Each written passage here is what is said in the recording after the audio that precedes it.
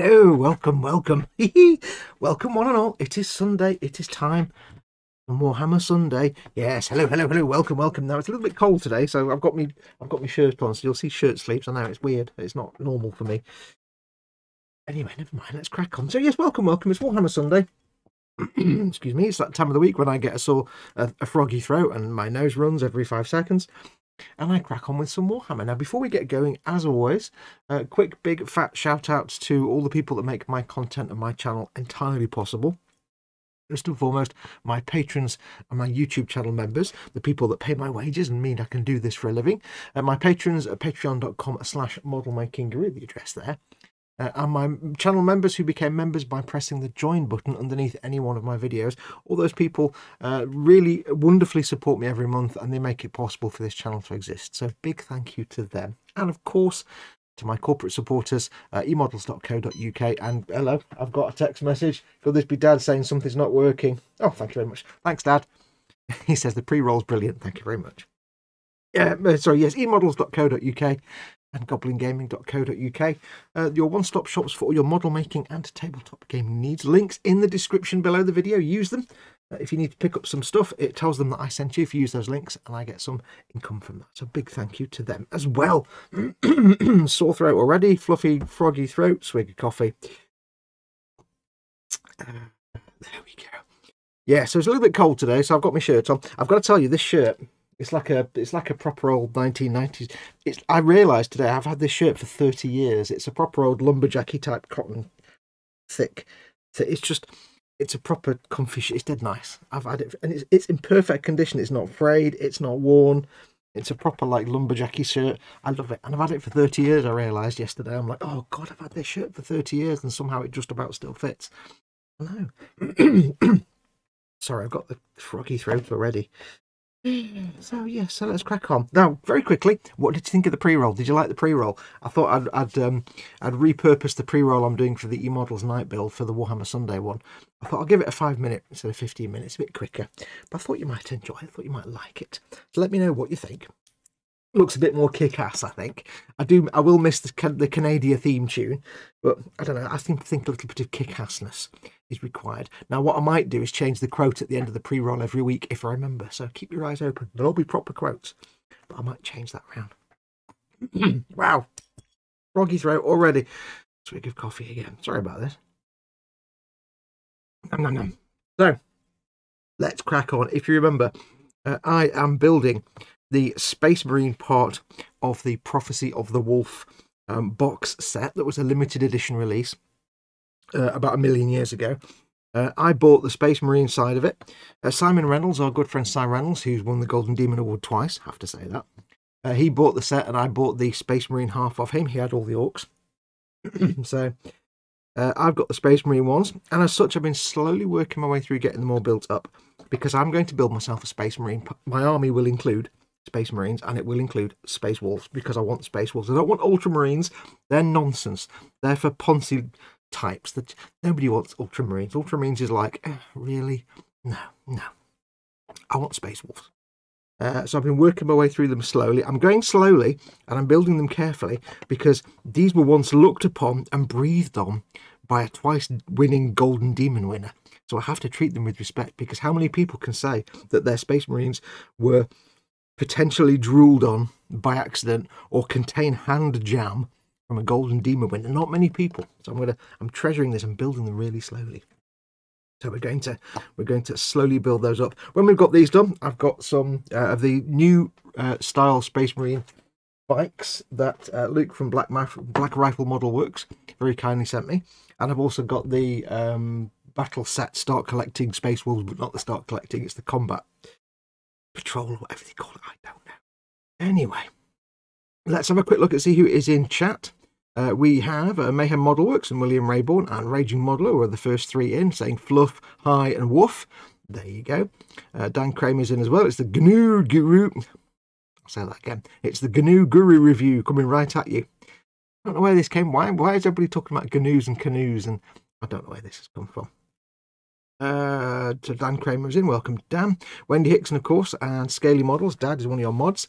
You'll notice two things. Uh, the mods are the ones with blue spanners Your moderators like uh, Dad at Scaly Models and Colin at Festus 67's workshop, they're wonderful mods. They'll keep you safe, they'll keep you secure. If you cross them, they'll feed you to the trolls and they'll burn you alive while they're doing it. So don't cross them, but they will keep you safe and secure.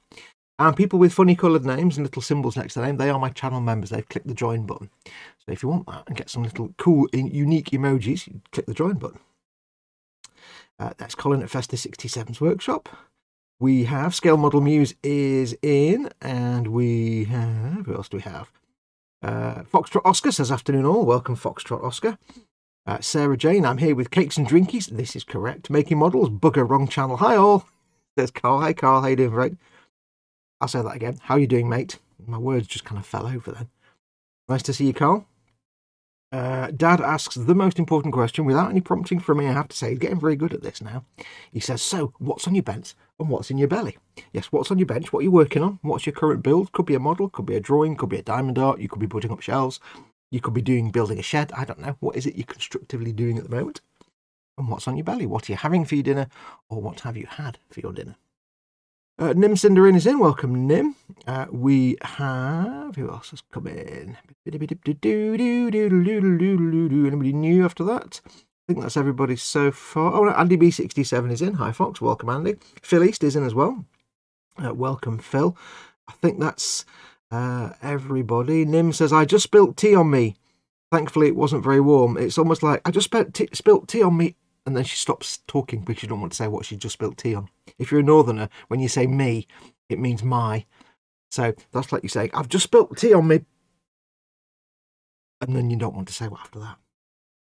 Anyway, that wasn't really funny when I spoke it out loud. It was funny in my head. Um, let's have a quick look at the bench and belly. Uh, where are we? Wendy Hickson says bench, little bits of plastic and metal bits, belly nothing yet. A Raging Model, of Bench, Orc Death Dread, and Orc Pain Boy ready for priming. Orc War Boss, Asararak, The Rich, Belly, a slice of leftover pizza from last night. Eat more. Raging Modeler says, excellent pre-roll. Thank you very much. Yeah, Dad sent me a text saying pre-roll was brilliant. Thank you very much. Uh, he's building target practice for my orcs, says the Raging Modeler. no. I'm getting the people ready together that are going to kick your orc's ass. Uh, la la la la la la. Where are we? Space jumped space puppies, says Scale Model Muse. Maybe infuse them with this golden demon essence. This is what I mean. I've got to build them carefully and treat them with respect. I said to Simon, I said, I'm building them really respectfully because you may have breathed on these. Your hand jam, you may have handled the sprue with your with your paws and got your hand jam and essence all over the plastic. So I have to I have to build them respectably. So I can say these have been handled and moistened by the fair hand of a golden demon winner. I can say that now. Not how many people can say that? That you know, my models include the DNA of someone that's won a golden demon twice. He hates when I say that, but I keep saying it. He's golden demon winner twice. Um, uh, I was going to say something. What was I going to say? I can't remember now. Uh, Phil East, afternoon all, long time no see. Yes, thank you. Welcome, see you. I'm getting good, says Scaly Models. I'm like a sneaking ninja. None of them realise I'm here, says Phil East. Yeah, I know you're there. Uh, if oh yes, a quick shout out by the way. Uh, if you weren't watching uh, Colin and Dave's stream earlier on, I'm just going to shuffle my cutting mat across.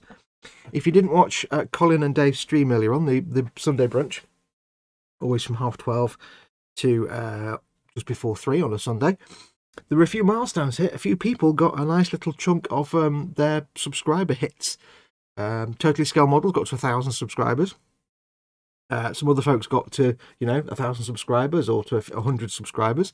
So there's a lot of lot of subscriber love going on there. Uh, and I, during that show, got my last what was it, four, five subscribers to get to twenty five thousand subscribers. So I have to say, big massive thank you to all my subscribers for getting me to 25k. Bizarrely, it's been like an, about two years since I hit 20,000, and it's taken about two years to get to that because I've not done a lot of content in the last two years, so in a while to get that far. So I do have to do a massive, massive thank you to all my 25,000 subscribers, 25,002 I think now. Big massive thank you to them. In years gone by, I would have done some sort of giveaway. Um, to celebrate it. But in current days, I can't do anything. I can't post anything, so I can't really do anything as a giveaway. But massive, massive thank you to my 25,000 subscribers. I never thought I'd get that far. Never thought I'd get to 10,000, but there you go. So big thank you to everyone, and a thank you to all the you know support I got in Colin's chat.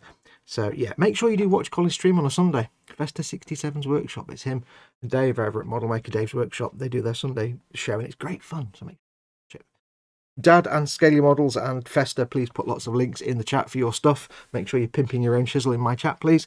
Please do. uh, Raging Modeler, I found the use of me humorous as also being a northerner. Yes. It's almost like Nim, you, you, you stopped short of saying what you spilt the tea on out of decency's sake. It kind of makes sense when you explain it. Uh, Philly says, Belly is leftover pizza and Bench is a random collection of stuff I for some reason refuse to finish.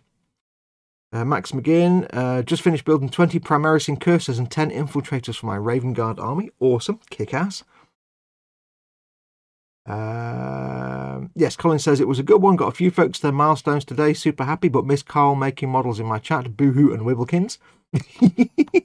oh dear. And also, you, to make it even worse, Colin, not only did you miss Carl making models in your chat, you also just spelled his name wrong. You called him Kral.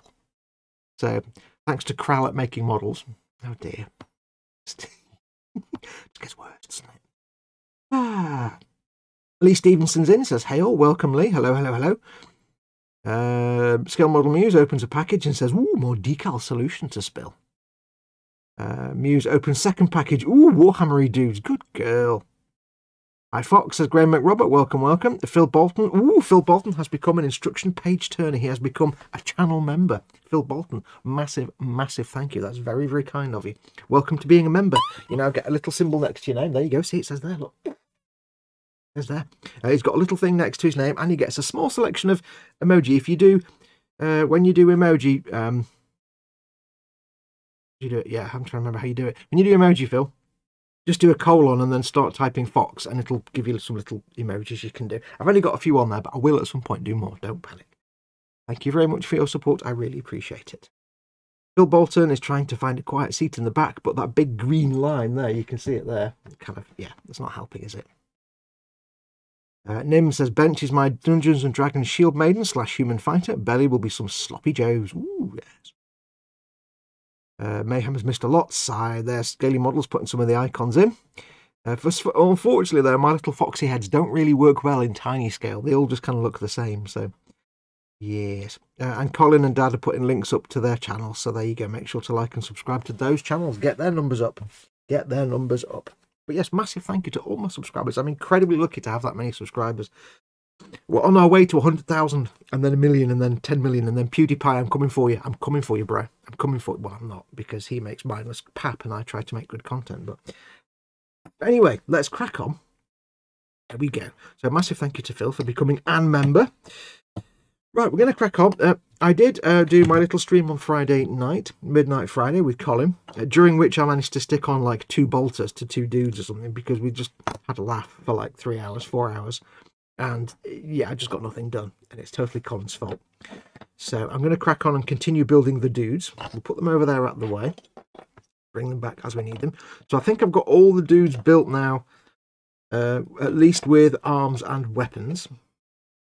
My favourite one so far is this dude, who is in the process of getting his uh, bolt pistol out of its holster. He's like, oh, because he's, he's obviously got to reload, but because he's a trained military dude, he knows that when you run out of ammo in one weapon, if for speed, you quickly switch to your sidearm, but at least continue firing for a few seconds. So he's there and he's reaching for his reaching for his bolt pistol. I like that.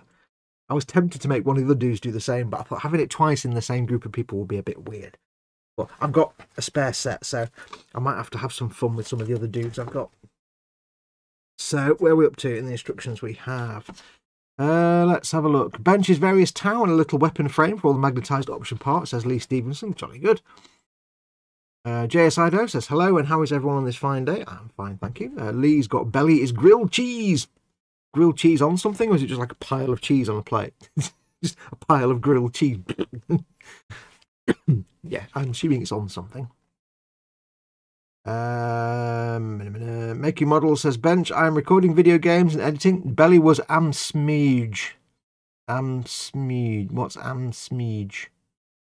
Also, what video games are you recording? Tell me. Tell me. Talk to me about video games. Um, I'm jesting, making models through tears of sadness. Lol, says Colin. I'm back with food, steak, eggs, and cabbage, says William Rayborn. I now need steak, eggs, and cabbage. God damn it. Uh, I think that's everybody up to date in chat. So we're working on the prophecy of the wolves. Simon kept all the orcs. I got all the space marines. And for some reason, Ragnar Blackmane, right, the, the head of the Blackmane uh, chapter house of the great house of Ragnar Blackmane, looks kick ass here and meaty and manly. On this, he looks like a sort of grumpy teenager. He looks a bit, uh, don't like it. I want to listen to, To listen to Smiths while I'm fighting. No, he looks a bit, looks a bit gothy and depressing there. I don't know. It's not as impressive in paint form. Right, so we've done all the dudes. I think we've done that one. We've done both of those. There's everybody now has got a weapon. They're all just missing heads and accessories. So I suspect we'll get these done today. So he says that and then he probably won't. So we've got that bit done. Where's my pen of ticking? So next we now have to apply many, many heads and the backpacks and the pointy bits and the accessories. And that's kind of it. So Okay, so what it does, basically what it does is for the sergeant and for the, where's page one? Yeah, for the for the sergeant and the other guy, it gives you specific instructions, and then for everybody else, it just says, yeah, just build them, just build them and stick things on them. Just do it. That's what we're going to do today. We're going to build them and stick things on them We're going to do heads and that. Now, I would prefer, of course, ideally, I want them all to have helmets because if I can get out of painting actual heads and faces, that would be fantastic. Thank you very much. All the same. But I don't know how many I've got, so we'll have a look and see. I've got to do one, two, three, four, five, six, seven, eight. There we go. Yeah, so we've got the sergeant and we've got the comms dude. It gives you specific instructions to build them. They're fully done. The sergeant and the comms dude with his with his pit boy. And we've got Ragnar Blackmane done, so I've got to get six, seven, eight, eight heads. Let's start with eight heads. I need my flippy flappy lenses. Don't forget, of course, folks, um, if you are watching this, uh, you want to come and join the live chat because that's where all the cool kids hang out. Uh, I do have my flippy flappy lenses on now, so I can't see the chat very easily. It's out of focus. If you are watching this and you're in the live chat, if you want to catch my attention, please do interact with me. Give me stuff to talk about uh, just put do either at, uh, I'll start that again to get my attention so I can see you made a comment either put your comment in big fat capital letters so it stands out a bit in chat uh, or if you want to you can uh, simply do at model making guru and it'll put an orange thing around my name so I see it or if you want to again you can if you want to really want to do a, a super chat which is the little dollar symbol at the bottom of the chat window just click on that and that will uh, put your comment in a box and there's no way I can possibly miss it then. So if you want to, you don't have to, but it'd be really great if you are. You are supporting the channel when you do that. So that would be beautiful if you did. Thank you very much. Uh, if you are watching this though and you can't see where the live chat is, you need to make sure you're watching it on YouTube. Uh, so if you're watching it embedded somewhere else, just click the YouTube icon in the bottom right hand corner and that will take you to the YouTube page where you can watch with the live chat. I'm not seeing lots of heads with, oh, there we go. One, two, three, four, five. Five. Five. Give me more. I want more.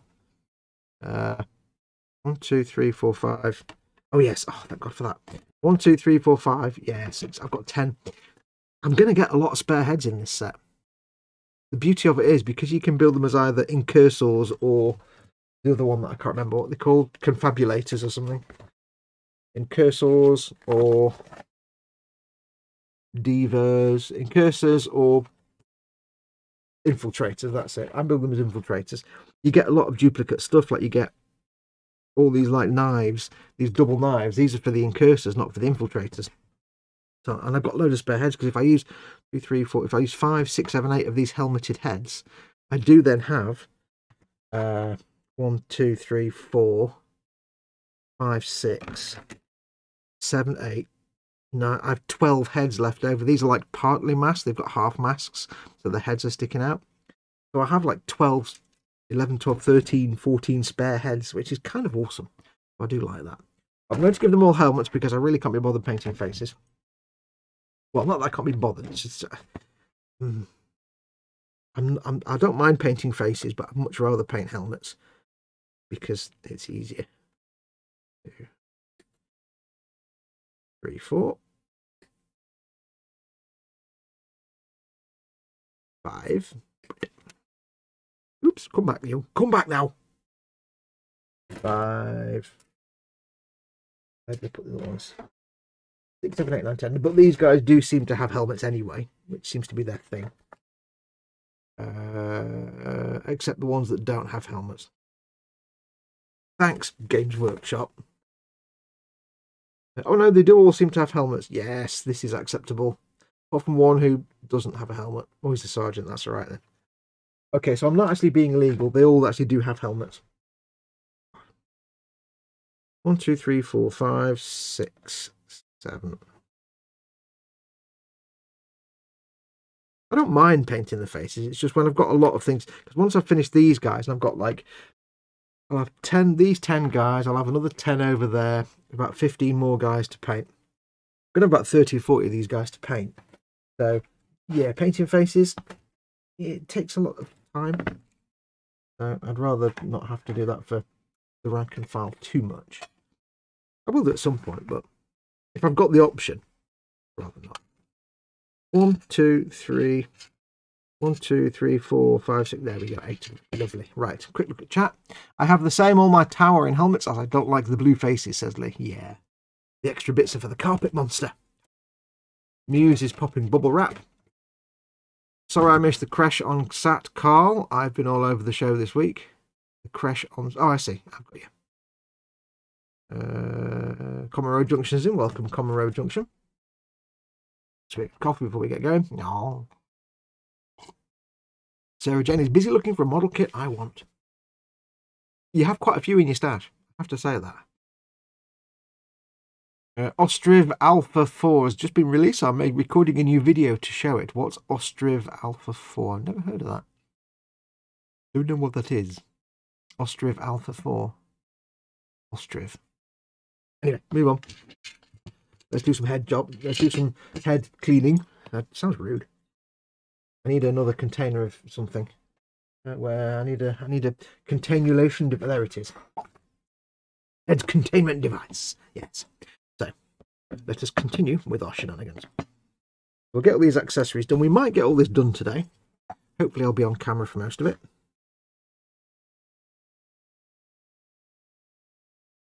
But yes, I mean, if I was just building this one squad, I might take the... I mean, it does show them with helmets on anyway, to be fair to me. But if I was going to do the, the faces, most of them are just... The faces are covered and it's just the top of the heads that stick out. But, oops. Um, if I was just building a squad of 10, I might take the time. But if I've got like, you know, I've got like another 15, 20 of these to do, so. And I will eventually get some old style. Oh, man. Roman just stuff everywhere today. I get some old style Space Wolves as well, so. I'll end up just painting them all in one go, and that'll be millions of them. I don't mind painting faces. I'm just not, I'm not the best at it. I have to say though, I have to say though, did anybody watch? It's not that I like to speak ill of other people, but did anybody watch the latest or one of the latest videos in Games Workshop's uh, Warhammer TV channel? It's not called Warhammer TV anymore. I can hear a noise. What's that noise? I thought it was main sun coming through my speakers, but it's something outside. But yeah, um, one of the latest episodes where Nick Bayton paints some Poncy Ultramarine, I think. Nick Bayton has a thing for Ultramarines. I don't know why. They're just pathetic, but he, he just, all he ever does is paint Ultramarines. Anyway, he's painting some Ultramarine character. Boring. And he shows painting the face. And uh, he gets all, most of the way through, and he, he only really uses contrast paint, but the face looks really good. He does wonderful skin tones, and he does some some sort of five o'clock shadow on it. And I'm sat there thinking, this looks really good. Just using contrast pens, that's really good look. I like that. Looks mint. Really simple to paint. So I'm kind of studying it to learn how to use it so I can try and use that method. And then he says, and now let's paint the eyes. And I'm thinking, Oh, this is going to go one of two ways. Because more often than there's no there's no mode line on these. That's rather good. More often than not on Warhammer TV, whether it was Duncan or Peachy, they never used to show painting the eyes because it's it's it's an acquired skill and most people can't do it very well. And a lot of the time, doesn't always come out looking good, especially when you're trying to do it on camera. And I thought, well, this could be interesting. He's going to paint the eyes. That kind of a ballsy move. So bearing in mind, he's done this wonderful job on the skin. The face looks great. It looks kind of pallid and it's got five o'clock shadow. I'm thinking this is a good looking face. I'm going to steal all these methods. And then he paints the eyes. Dear Lord, what a mess. It just, it did not go well. Now, of course, he doesn't say anything because he's, but he's, he kind of goes, let's paint this eye. well, he, uh, uh, he seemed to paint the, the pupil first, but didn't mention that because there's like a black spot in the middle. I'm like, why is there? And then he says, we're going to paint the white around either side of the pupil. And it came out in the end with eyes like wonky And I'm like, oh God, it's got wonky eyes. And they go outside the eyelids and oh, it's gone. It did not go well. And it kind of ruined the whole thing because up until that point, it was a really good looking figure. It looked really nice and the face was fantastic. And then he painted the eyes and ruined it. And that's one reason why I will never try and paint eyes ever on this kind of scale figure. Because A, because I can't. Uh, but B, because 99% of the time it's just not worth it. It comes out looking bish.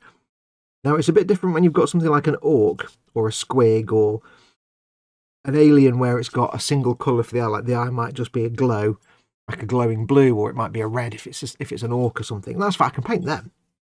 But it's when it's an actual eye with an eyeball and an iris and a pupil. It's like, no, no. I don't. And yeah, I can do eye lenses on like Space Marines, but actual eyes and I just don't do it. And if ever you've been, if ever one of the things that's put you off doing little figures like these is the eyes, the simplest solution is don't. Because what I've often found, or what I've always found, is that um, they need to be in a different tin. What I've always found is pretty much when you're painting one a little sort of this heroic scale figure, it's a normal face, for example, when you've done your skin tones, you do a sort of brown wash or a, a, a sort of dark flesh color wash to put some definition to the to the skin to give it some depth. That normally shades in the eye socket. And then when you look at it from a distance, because it's small enough, that actually looks convincing enough without painting in the eye. Because if you go and look at photographs, if you walk out into the street at some point and just look at people walking along the street, or just look at some photographs of people, whenever you look at a photograph of someone taken in good daylight, and they're not looking directly at the camera, like it, just people sitting around on a on a park bench or something, or there's a photograph of a, a street and there's people walking around. The one thing you notice as you look at the people is you don't see every single eyeball and pupil and uh, retina, retina I'd be worried if you could see the retina. You don't see every eyeball and iris and pupil on all those people in the photograph or walking down the street. You might see a couple of people where they might have like a wide-eyed expression because they're laughing or something or doing something. But for the most people, you don't actually see the eye. You just see the shadow where the eye, where the brow overhangs the eye socket. And it just, you know there's an eye there. You know there's an eye in that little depth dark bit. But for the most of it, you never see it. Go and look at some old photographs of like, you know, soldiers in World War Two. And I don't mean close up shot. I mean like pictures of some something happening and there's people in the landscape. When they're not close up, you don't always see the eyes. So just me having shadow in the eye socket on a figure is often enough to make it look convincing. Because if keep in mind as well, if you're if you're making models for display then it's going to be in a cabinet and probably going to be at least a foot away from it. If you're making models for the tabletop to play, people are going to be at least three feet from it. They're not going to get that close. If you're making a model to sell, well, that's a whole different story. Then maybe you want to be able to do that because then you can charge more because they've got awesome looking eyes. But for this kind of thing, especially if you're going to put them on the tabletop, you don't need to worry about it. Human eyes, you just don't don't stress. A lot. I know a lot of people that have been put off doing figures purely because of eyes. It's like, don't, you don't even need to do it. Because 99.999% of the time, if you try and paint eyes, they'll come up looking like garbage. And they'll come out like wonky like that, or you'll just have a white bit with a black dot, which is not realistic anyway. It, it's just not worth it. I mean, yes, there are people that can paint realistic eyes on these little tiny heads. I've seen people paint realistic eyes with pupils and, you know, every irises and everything. And it's like, it's insane. But you're never going to see it. There's, there's very little return for all that effort unless of course you're doing it as a professional. But even if you if you you know go to Warhammer World and look at all the stuff, or even just look at some of the box art, you don't always see painted eyes, and that's why you know people don't always paint painted eyes because it's better sometimes to have a suggestion of an eye socket than it has is to have accidental googly eyes on a serious figure. It just doesn't work. So don't stress. If the one big thing is, if every time you paint a figure, it looks good till you do the eyes, don't do the eyes. Literally, I mean, if I'm doing if I'm doing a, a bog standard human, I'm using the the formula, the simple formula for skin. It's like Bugman's Glow, then a wash of Reikland Flesh Shade, then some uh, Cadian Flesh Tone, then a highlight of Kislev Flesh, and then maybe a highlight of whatever the next one is after that one that I've forgotten. But that that Reikland Flesh Shade over the Bugman's Glow leaves those eye sockets shaded. It's just enough to say there's an eye socket here. And a lot of times when you look at like Warhammer figures, don't forget, it's a shouty bloke. He's in the he's in the turret of a tank going wah, waving his sword around. He's shouting, his mouth's agape, and his eyes are kind of scrunched up anyway. So a lot of times the figures actually have scrunched up eyes. You wouldn't see anything. So don't sweat it. If that's been what's been put in your figures, just don't do it. Just leave it with the shade in the recess, and you'll find, to your amazement, it looks pretty good. I don't actually, do I actually have a figure I can show you? Uh,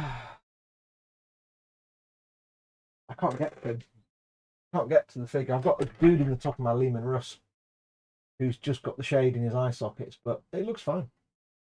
It looks fine. Have a look on my on my Facebook or anywhere on my website, anywhere else, like the Leman Russ that I did uh, the Hello Kitty Leman Russ, or look at the um, the E models build from Christmas before last, the the, the Matilda style uh, chibi tank. That's got a Warhammer dude in it.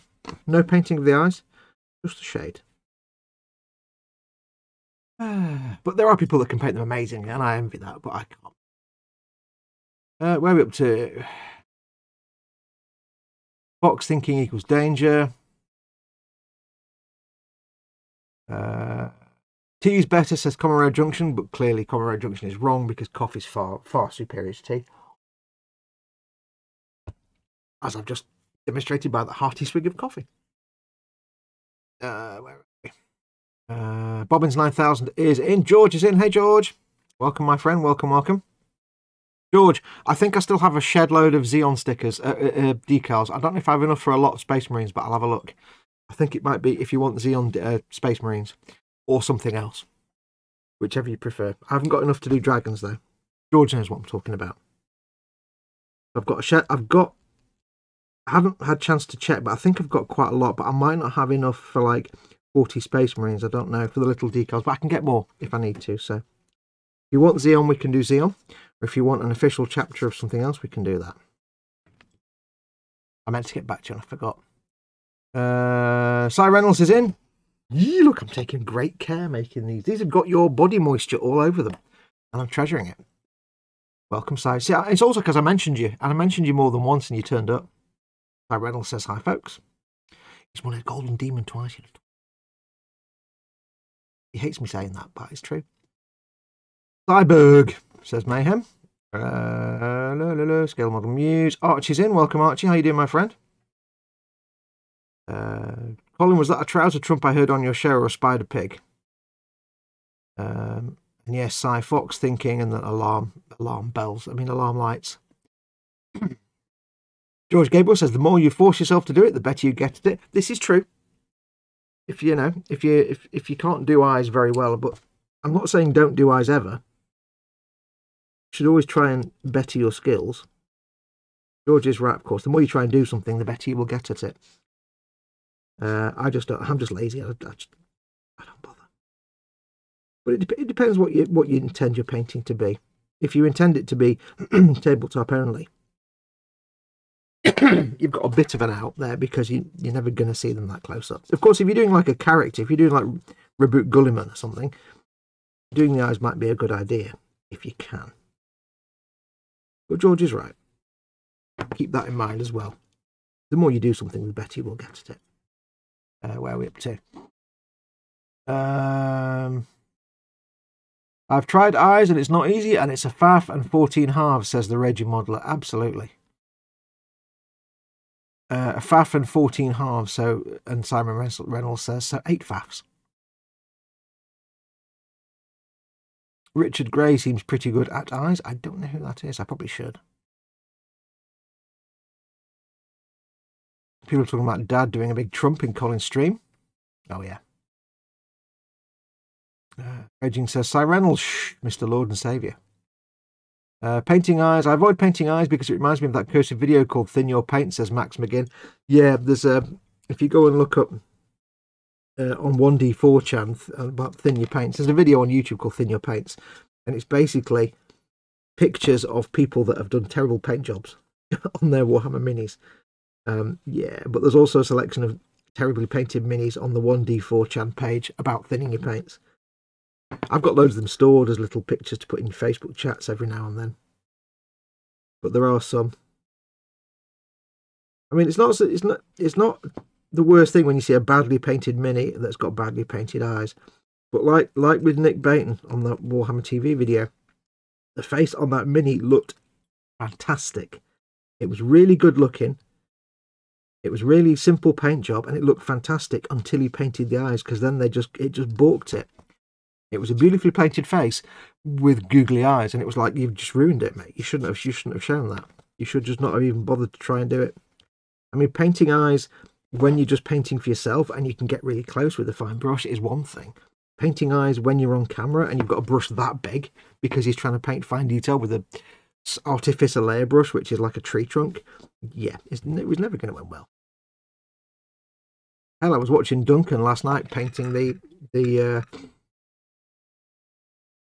Got a mould line on there. I was watching Duncan last night painting a Slaanesh guy, a Slaanesh character, and even he didn't bother painting the eyes. He's like, yeah, we're just going to put a bit of dark brown paint in there. There you go, done.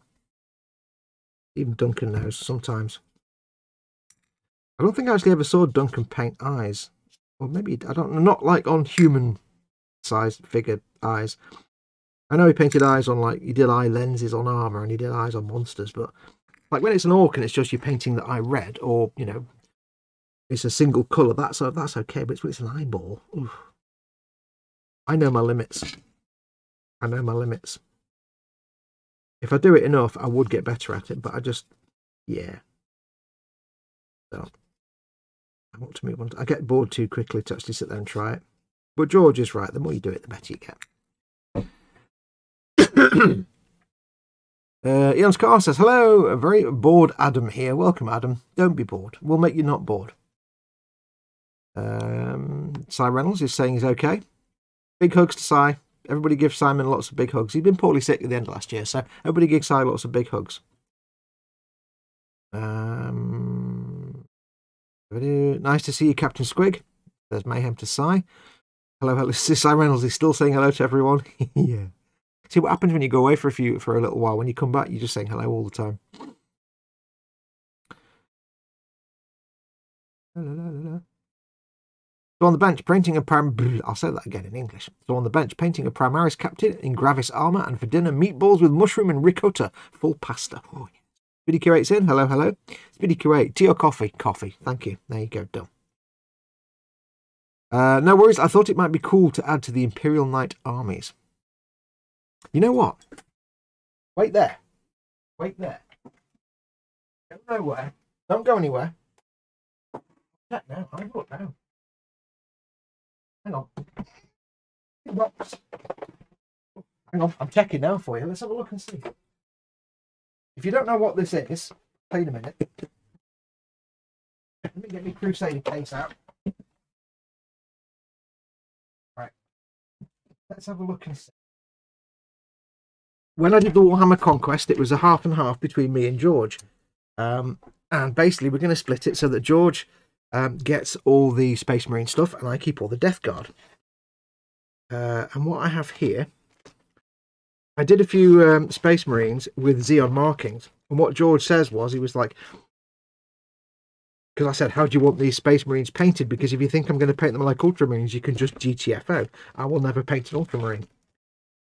Um, so, he was debating whether to have them painted like Zeon. But I just need to make sure I've got lots and lots of little Zeon decals to put on the pauldrons of Space Marines. I have various different colours. I think they may be the right size. Two. Uh, there's some there. There a bit big. Loads. I think I've got enough. There might be they might be a bit mix and match. There might be some have yellow markings and some have. Uh, got loads, mate. They might not all have white Zeon symbols. They might have like a mixture of yellow and white. But we can come up with a, a, a head canon reason for that. And I can always get more if I need them. So 1, 2, 3, 4, 5, 5, 10, 15. Yeah, I think we should be all right. I think Zeon might work. Plus, it's painting them as green. I like painting green anyway. So if you want them as Zeon, my friend, you can have them as Zeon. Uh, or we can do them whatever you want, whatever you want them to be. I haven't got any dragons decals there, so not enough of those. So I couldn't do a load of Shanghai dragons. So anyway, yes, we're, we're trying to decide what he wants the Space Marines painted as, because he doesn't want Ultramarines, because he's a man of taste. Um, and not a simpleton. So, uh, so if you want Zeon, I clearly have many Zeon decals because it's mostly Space Marines anyway. The only thing I'm going to have a problem with is any of the figures where they've got Ultramarine symbols moulded into them. I'm going to have to carve that off, and that's going to be a right pain in the backside. I don't know how that's going to work. We'll figure it out. Uh, right, where are we? I shall put this all away again. One second, folks, one second.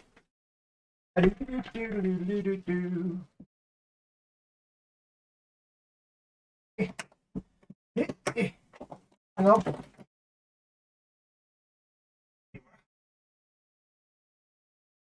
There we go. It's not often that Crusader case. I need to get another one. It's full. I've got a Crusader case, and I've got like about four skirmish boxes, and they're all full of just stuff I need to paint. Mostly Warhammer Conquest. Let's be perfectly honest here. I think I've got all the Warhammer Conquest Space Marines in like one Conquest box, in one Crusader uh, skirmish box, and all the Death Guard in another or something. I think. Uh, if you really want to practice eyes, just practice on the endless amount of spareheads you get on sprues these days. Don't risk a model you've spent ages on. Good advice from Cy Reynolds there, who's won a Golden Demon twice and knows what he's talking about. Uh, I've tried eyes once or twice, aren't doing it unless the model's face was larger in scale. Yeah, a lot of the times though, when you get a dude with the face, he's usually shouting in Warhammer, and when he's shouting, his eyes are kind of squinted anyway, so it's just like a little line so a little dark wash or even just the normal shade you've put on there for the flesh is more than enough. Space Marine helmet uh, lenses are easy. Absolute lenses and stuff are fine. White and then red or white and green or white and blue. There, no problem. It's painting an eye. It's because you've got to line up the dots and the eyes. And if you just do white with a black dot, it looks terrible.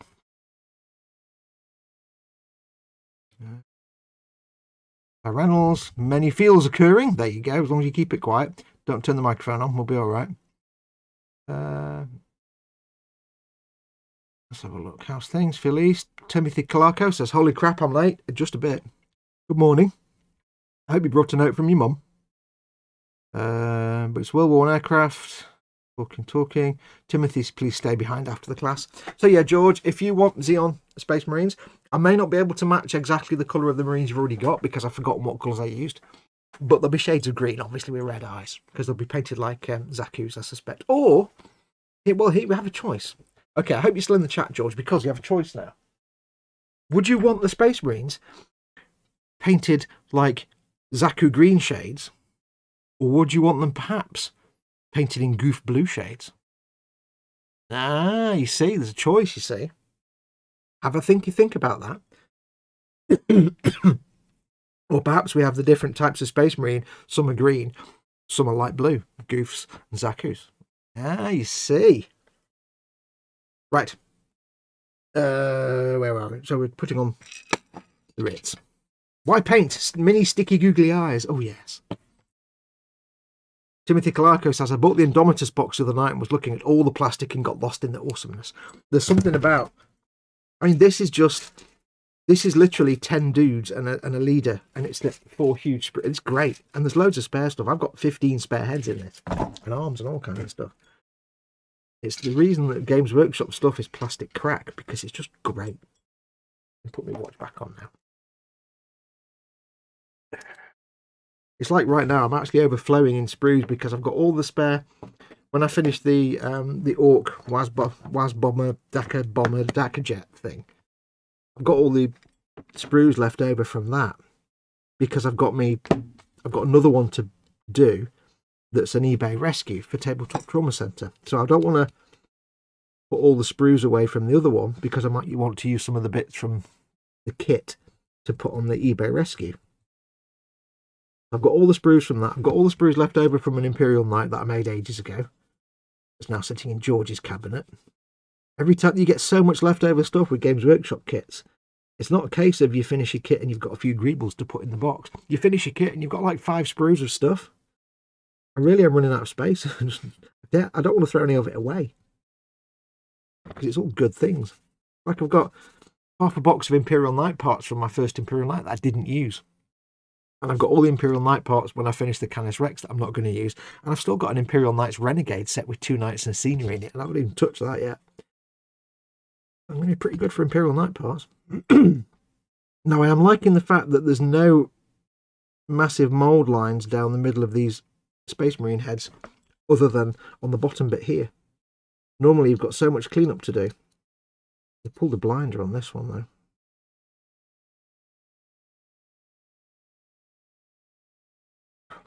So yes, George, if you want, hang on, let me clear my throat.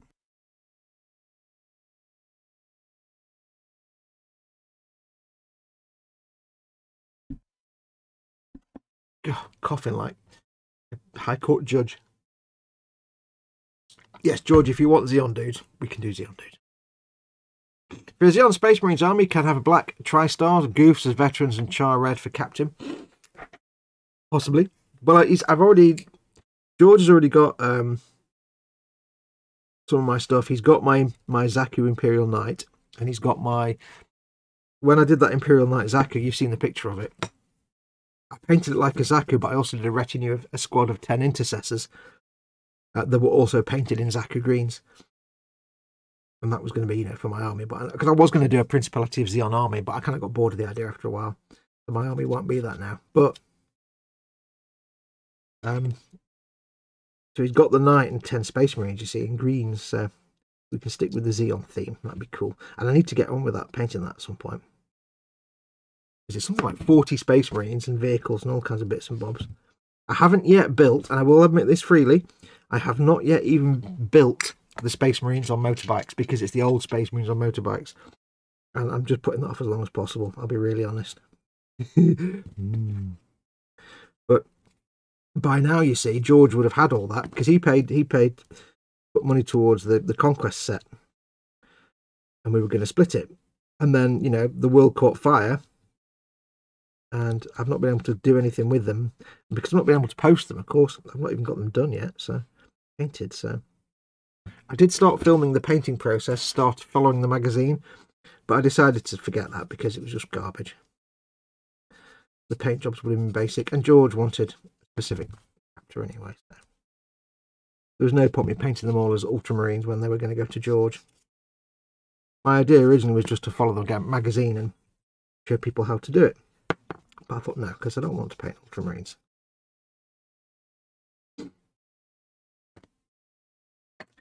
Don't be like Nick Bayton. Paint your Space Marines something other than ultramarine.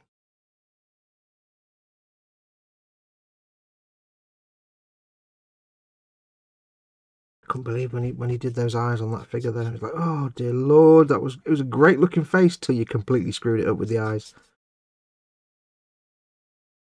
It's the kind of thing where it, it bothers me on an extra level as well. It's not just it bothers me on the oh god you screwed it up level. But it also bothers me on the I make videos how to paint I make painting tutorial videos. Because I sit there and think, God, imagine if that was me filming that and I'd done that and I'd be like with the brush, I'd be like, oh screwed it up. I've got to do another take, but I can't do another take because I, I can't I can't unpaint what I've painted. And I'd be like, it ruined the whole process. I'd be like, if I've done a, if I'm doing a painting video and I mess something up, it ruins the whole project. Luckily, it's never actually really happened yet, but I would imagine it'd be like, because I can't, I can't stop and unpaint what I've painted. That's the one downside of doing painting tutorials. You've got to get it right, because if you mess it up, you either have to say to people, I'm teaching you how to do something, but I've just messed this up, and that's it, it's ruined. Or you have to stop, strip it, and repaint it and start again, and then get back to the point where you were and film the bit again. It's like, it's not, it's not something that I would relish. So part of me cringes because it went wrong, but part of me cringes from the the production point of view of there's nothing he could do at that point. He can't stop and restart. He can't stop and paint the figure again. I mean, he could have done. But at the same time, while he's presenting to camera and doing it, he can't acknowledge that it's gone wrong on camera. He can't sit there and go, oh crap, I've just messed it up. He has to just carry on smiling as if nothing's happened. It's like the old thing of working with animals, you know. Just stand and look at the camera and talk and smile, even though the dog's humping your leg. Just carry on talking to camera and smiling. Just, you know, as if nothing's happening. So I just I felt I felt bad for him in a way. I was like, oh. I'm pretty certain he'd know he knew what he'd done. Right, that's that one. I've got whoa, that's all of them. Yay! Uh, Zeon Space Army, Black Tri-Stars, Goufs, and so on. Says Max. Uh, when I eventually had the idea of doing a Zeon Space Army, a Zeon Imperial Army, I ran a little competition to come up with ideas for colour schemes, and the winner was the the Zeon idea with like some dudes painted as. I was going to have like the Imperial Guard were going to be placed painted as Tri Stars in those colours. The Tempestus Scions were going to be painted in red and white like Char, and then and so on and so. The Space Marines were going to be painted like Zaku's, but I kind of got bored of the idea after a while. I kind of faded away from it. Uh, I've returned from the kitchen bearing a platter of noms that I've cooked myself. Am I an adult now? Depends. Is it just noodles from a packet? In which case, yes. Zaku Green is a stock colour from Vallejo called Zeon Green. Ah. In their Mecha colour range. Well, I, I, I think I used... Uh, it was a mixture of like Loren Forest Green and some other greens. I'd have to, I can't remember the exact colours I used on the Space Marine. So, uh, But I think George may have not be watching now because he seems to have fallen out of chat. He's not in chat anymore. Unless I'm, I'm on live chat. I shall send him a message later. Citadel's Technical Soulstone... So, mm, wow, that wasn't even words. Citadel's Technical Soulstone Blue, Spirit Stone Red and Waystone Green over and light silver in the lenses. Absolutely, yep. Yep, just literally silver or white and then one of the clear colours. Done. I, I can't do the painting the colour with the little highlight and the little white dot. I can't, I'm not skilled enough to do that. It never looks good. I barely was able to paint a searchlight on a tank. I need to practice that. From tabletop distance, you can't see the eyes anyway. Exactly what I was saying earlier on. Uh, Nim says, no, it's a couple of sloppy joes on potato rolls and some steak fries. I have no idea what a sloppy joe is or a potato roll. Is a sloppy joe like a chili dog?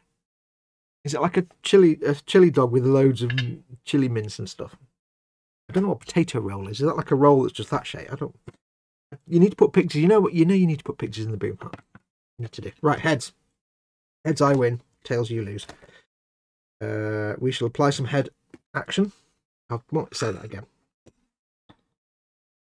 Now, are any of these veteran head? Before I start gluing them, any of these look like veteran marking, or have they all got little studs on them? Uh, meh.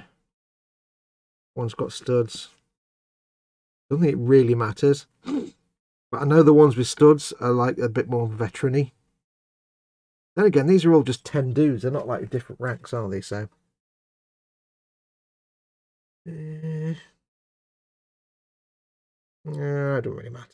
I think they're all just kind of the same. Let's just glue some things together.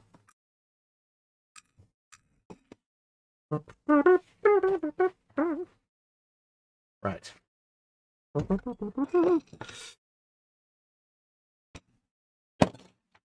I picked up the glue and then the dad device. I mean, I could have just picked up the. Oh, shut up. I'll, I'll just stop talking now. Right, so these are bog standard Space Marine heads. I'm not going to bother about painting them on sticks. I'll just get them on. Not hard to paint them. Situ.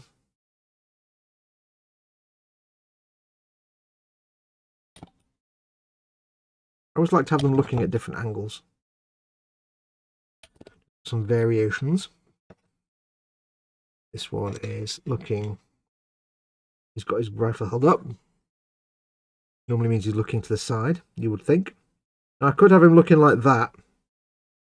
But he's not actually, hmm, there's a big seam line on that. Hang on, hang on. We deal with this mold line. How very dare you. He's not actually aiming the gun, he's just holding the gun up. He's not shooting anything, so if I have him looking that way, it looks a bit weird.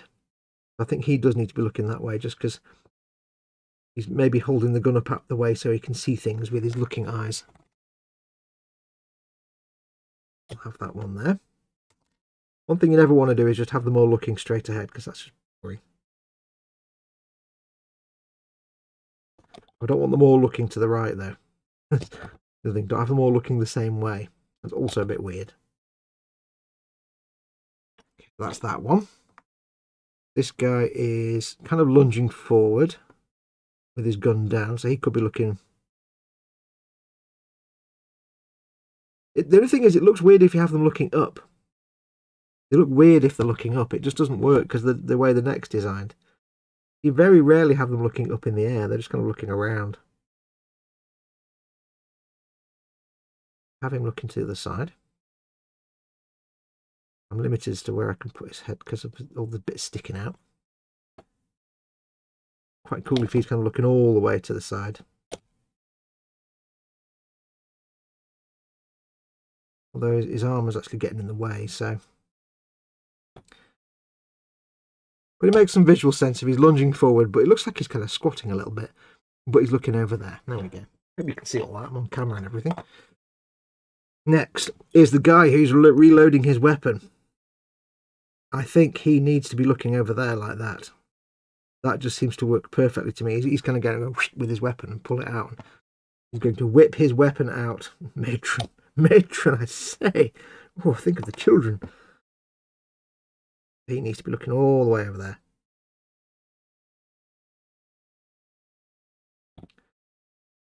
He's in the middle of the process of getting medieval on someone's ass.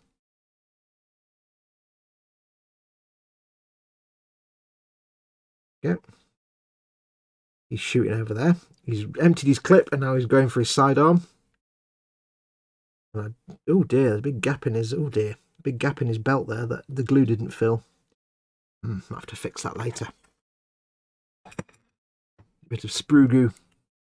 Sloppy Joes are minced meat in a barbecue ketchup sauce with peppers diced up in it. Potato rolls are hamburger buns made from potato flour, and steak fries are just thick. Well, not steak fries, are thick cut fries. Need all of that. And I posted a picture for you all. Good girl.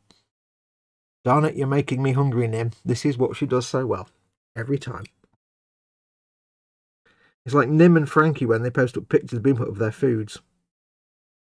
It's just like, oh. Or both of them. Oh, you, you knew. Right, now this guy...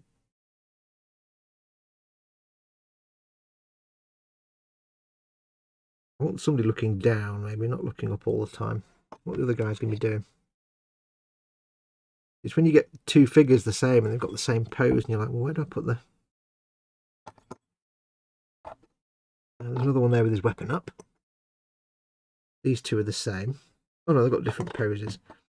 So I think this one I mean, most people don't give this much thought, I reckon, to, to where they're actually putting the heads, but I do. Everyone has a story. This guy's looking down at something on the ground. He's going, what the hell is this down here?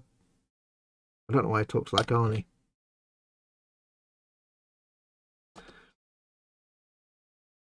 He's going, I can't believe I just stood in that. Or something. I don't know. I don't know. Is Yeah, that'd be good. Put his head on the wrong way around, Fox, you spoon. Might have one just looking forward. I suppose you can have one looking. Uh, probably, you know, you can have at least one person just gormlessly looking forward. He's probably got an earworm and he's trying to work it out of his head. He's like, he's walking along and he's got a Spanish flea going through his brain. And he's like, oh, no, no, no, no. Bit of a daydreamer. So I think you'll allow at least one looking forward. This one, I think, is looking over there. Just slightly to the side. Most people just plonk their heads on, but I like to have some little bit of character to them. A little bit to the side for them.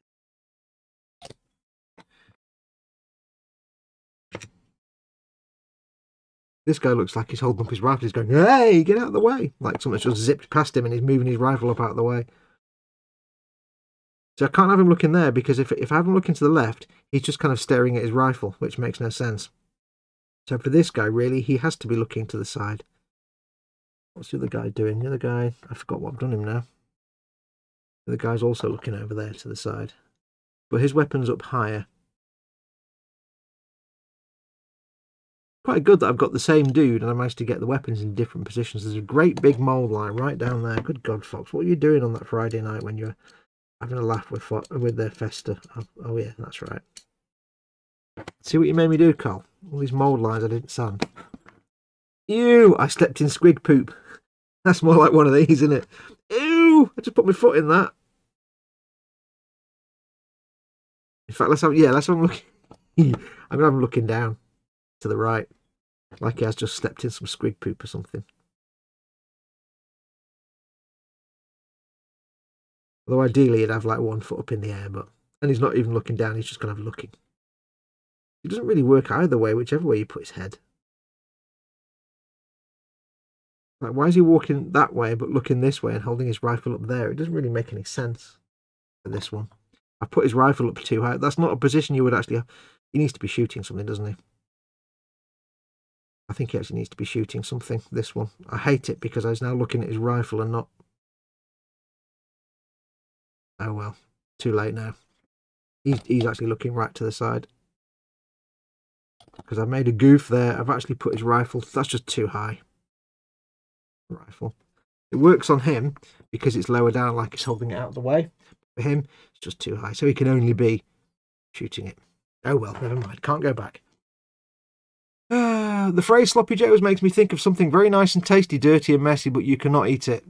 Just, yeah, I, I Shut up. I know what you're talking about. And you're just filthy, dirty little bugger. Uh, way up to food. I just had homemade chocolate sponge cake, says Mayhem. Ooh. You can have Sloppy Joe's pizza. Ooh. Uh, do you think the kit would be worth selling? Not sure if there's a market for them, says Phil East. What are we talking about? I've missed a conversation here. Middle East. What was that about? Graham Robert. I've missed something somewhere, haven't I? Oh, Cy Reynolds says, potato roll. Potato flour bread roll, Mr. Fox. They are brilliant for burgers and such. I shall have to investigate. Candygram from Among Us says, Greetings, everyone. It's great to see Cy Reynolds and George Gabriel's name in here again. Welcome, Candygram. Although I think George uh, only popped in briefly because he seems to have gone again. Underdog's in. Welcome, Underdog. Uh, I don't know what people are talking about kit worth selling. I must have missed that. It's too late now. Can't go back. I just finished some leftover smoked brisket. I've got no food in front of me at all. Although for dinner tonight we've got some uh, chicken steaks. Breaded chicken steaks. We'll be having them with the chips. The simple chips and beans or chips and macaroni cheese perhaps. I do not know yet. Do you know the name Goof is supposed to be pronounced Gauf?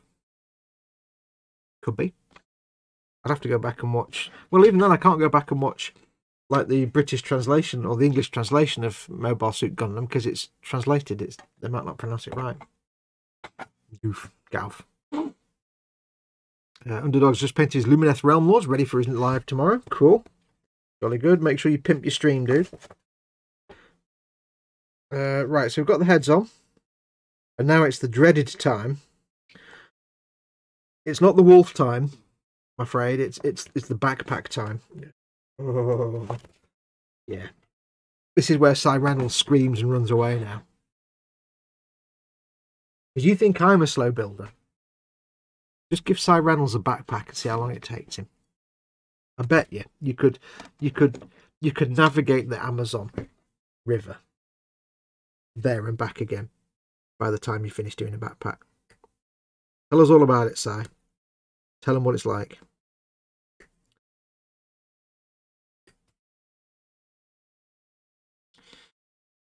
Four. Five. Why am I doing this? I could have done the pauldrons and saved myself a lot of stress, but I've, I've gone straight into the backpacks. I'm an idiot. What can I say? Six. I don't get any spare backpacks, unfortunately. Six. Seven. Acht. Nine's in. That's his stick. In fact, I might do the. You know what I'm going to do? I'm going to be such a coward. I'm going to do the pauldrons first. I'm going to ease myself in. Oi, easy bit, says Cy Reynolds. It takes as long as it takes, he says. You're the one that's told us it takes you. You hate doing them, and it takes you forever. You told us that. I'm not. I'm not casting any aspersions or nothing. No one out nor nothing either. Uh, Pauldroniums, 52s is what we want. Let's do that easy stuff first then, shall we? because I'm not an idiot.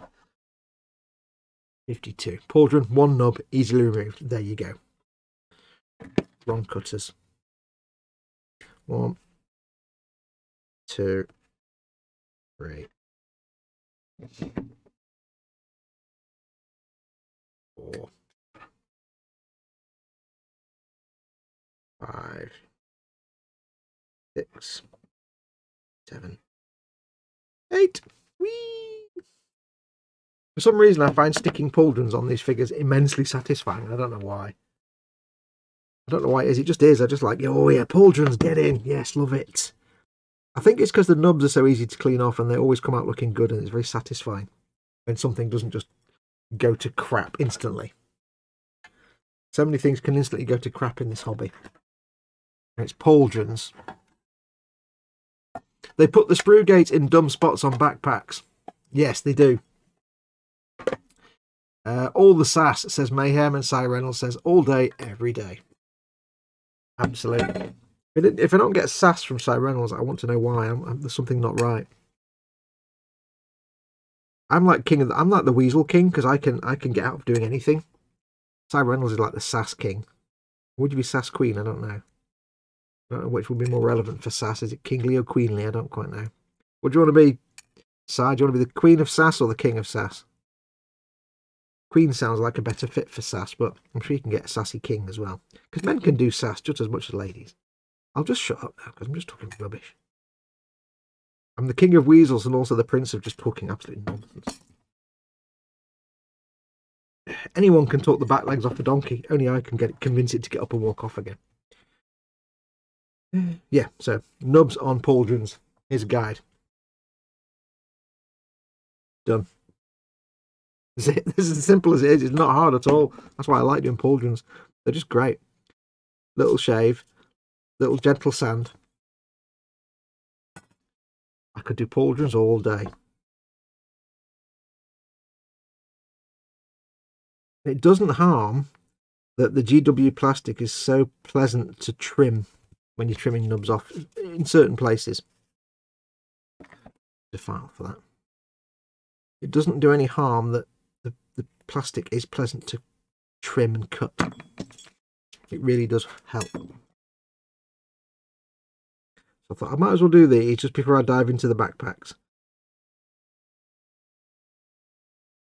Like a little chaser. A little pleasant fun bit before I go do all the backpacks. Yes. They wouldn't be so bad actually, the Space Marine backpacks, if it wasn't for all the little greebles down the side. That's the bit that I hate.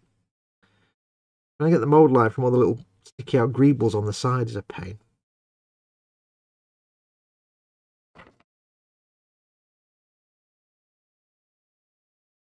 But at the end of the day, you end up with a Space Marine. So it's kind of a plus. no, no, you're King Cheese, says Mayhem. Only when I'm playing a video game, I'm I'm Cheese King.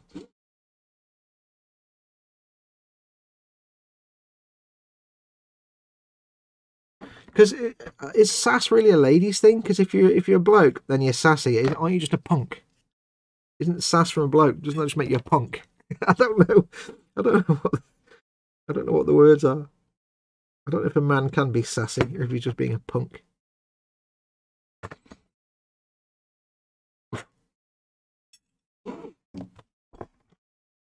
We have some weird conversations on this show. Anyway, I hope everyone is okay. How is everyone? I Hope you're all doing okay. I need to clear my throat.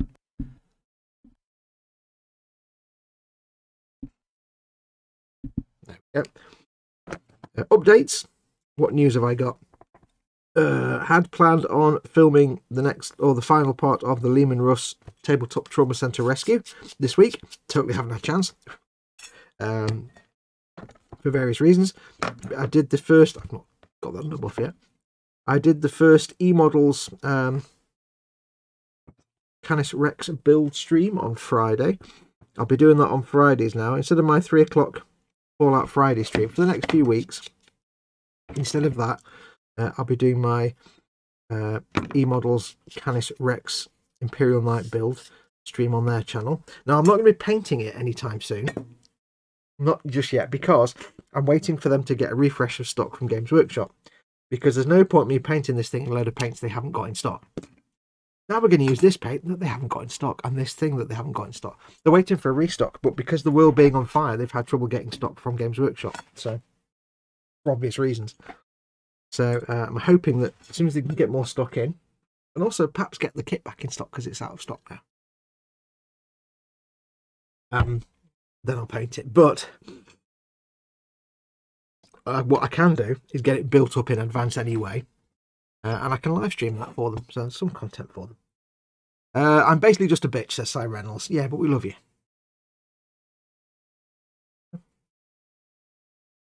Timothy wanted to order a few more Dark Angels upgrades for the boys. Do it. Um, still don't know what Phil East and Graham are talking about. I'm a little disappointed that they moulded the shoulder pauldrons on the Marines in Indomitus, says Timothy. Yeah, with those like those kind of box sets, one of the things they seem to do at the minute is aim those box sets at beginners. Which arms these pauldrons go on now? They're all on this arm, aren't they? They seem to aim them at the beginners, so you tend to get the easy build kits in the box sets, which is all right, but it's not as much for me, who hates building, I actually enjoy building Games Workshop stuff. So I actually enjoy building the figures. So when it's a easy build, you can't mess it up kind of figure. How is that? Hang on. Kind of, hang on, I've got an intruder in my glue. Yeah, it's alive. Not really, it's just some glue schmutz. It's off. Yeah, so much as I'm not a builder, I do enjoy building Games Workshop stuff, and I actually really enjoy building the figures quite a lot. So when they do just give you the easy build, like monopose figures, it's a bit of like a oh, well, I would have enjoyed more. But those those sets are really about introducing somebody to the game and to the building. They're kind of aimed at the person who hasn't already got like 400 Space Marines. They're like an introductory thing, so they want to get people in building quickly and then playing the game, you see. That's where you get all the game stuff with it. Same with the Dark Imperium and all that kind of stuff. They're kind of, I think, was it Dark Imperium the first one where they did that? But then, of course, you have the trickle down thing that you eventually then end up with a lot of the actual figures just being easy builds. Which is a shame. I mean, you've still got lots of non easy build ones, which is good. There's plenty out there. Well, I suppose if it, it's also a way to keep the price down. If they had the more complicated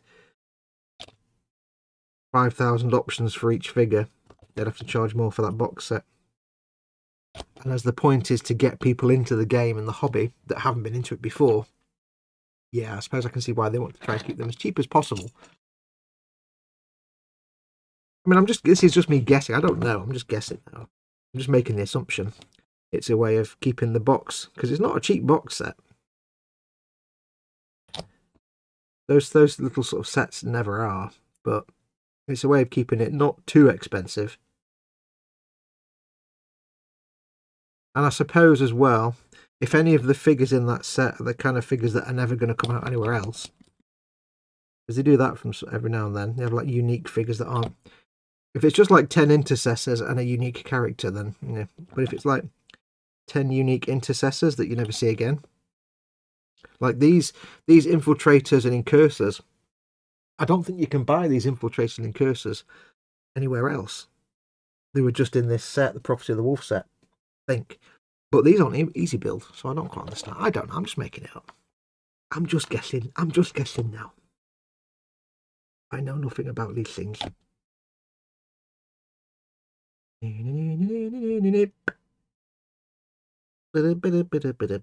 Yes, and I am putting them on the right way around. I'm just double checking.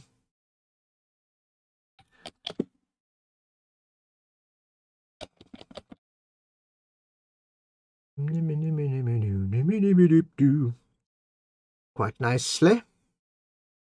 nicely. Uh, Festa six seven says guns.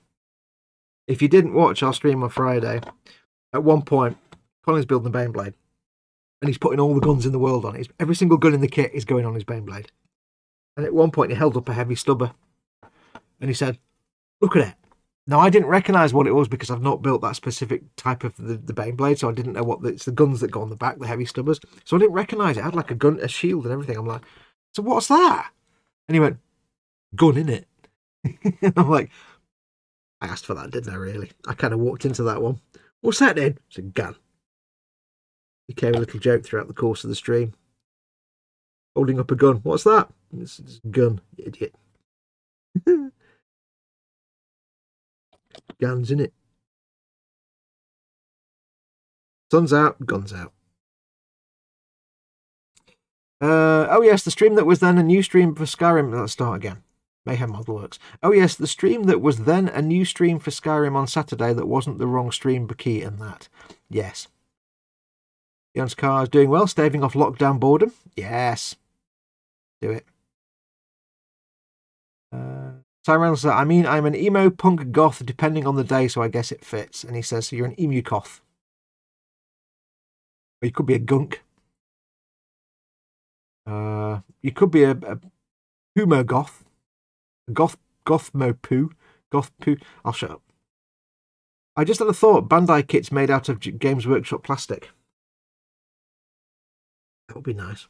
Plastic, you mean plastic that doesn't explode when you put any kind of solvents on it? That'd be fantastic. I think the thing with Bandai plastic is it needs to have a certain strength to it. The reason that Bandai plastic is the way it is is because a lot of their kits have moving parts. They need to make sure it's not too brittle, and I can only assume that in over the time they've decided that the way they create their plastic and they don't bake it, bake in quotes, uh, is the best way to give them flexibility and strength at the same time because I guess they need to be able to have parts moving around but not falling apart after five minutes. I don't know if I don't know if GW plastic would suit the bill there. It's certainly soft. I don't know if it'd be flexible enough for moving parts. I don't know, but it is my. I love Bandai stuff. I do. I really do. But my big frustration, and one of the reasons I got a bit burnt out on Gunpla and stopped doing them for a while, I will go back to them. Is purely because I can't just build it and paint it. I have to build it and then stress about what paints I can use and what weathering products I can use. I'd be like, I want to do this particular weathering effect, but I can't because I need to splash thinners everywhere. Oh. Yeah, it did get quite annoying. The mould line right down the side of his head. I have to clean that later. I will go back and clean these guys up for mould lines later on because I've missed a few. It's Colin's fault, pretty much. You can see here I'm going between the thick glue and the thin glue thick glue just so it stays on. Then the extra thin just to get into the gap and weld it together even better. Whenever you want something to stay where you put it thick glue first off. Right that's them. They can dry while I back do the backpacks. Right that's all the building done now for this week folks because for today because I've got backpacks to do. It's going to take me like an hour uh, where are we? Uh, I still don't know what Phil East and Graham are talking about. Um, I literally only bought Indomitus for the heroes. I was going toward the new Honored of the Chapter box, which is only 40 US dollars less, but it's a terrible deal compared to Indomitus. I still have, just remembered, Jamie Bone ages ago um, very kindly sent me a lot of the minute the the get the Warhammer Heroes. You remember the blind box stuff you could buy? I've got a box full of them. I need to do at some point. I must do them. Let's get them done. Now, I think they are Ultramarines, and I think they have Ultramarine stuff moulded into them. So I may have to go against my word and actually paint those as Ultramarines.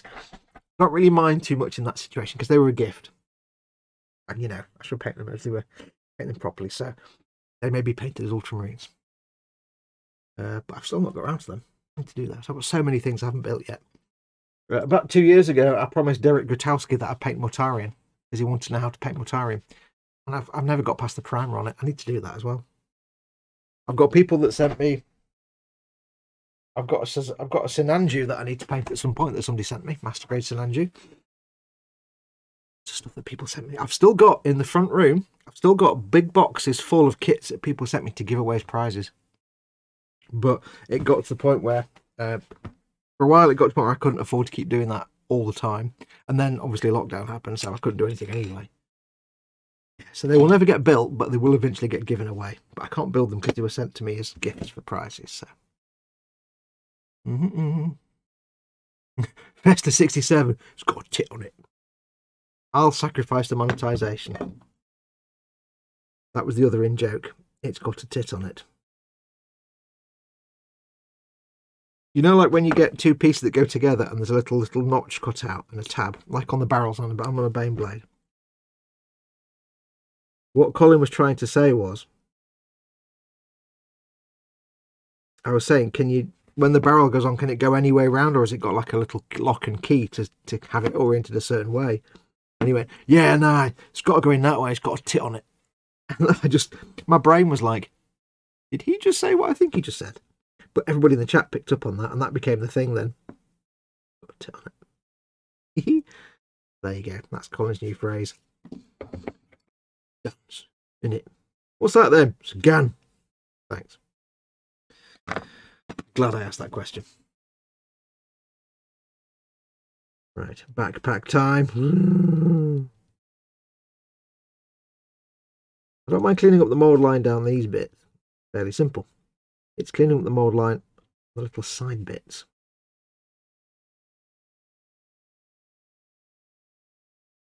One day someone will come up with a two-part injection molding system that doesn't leave your mold lines.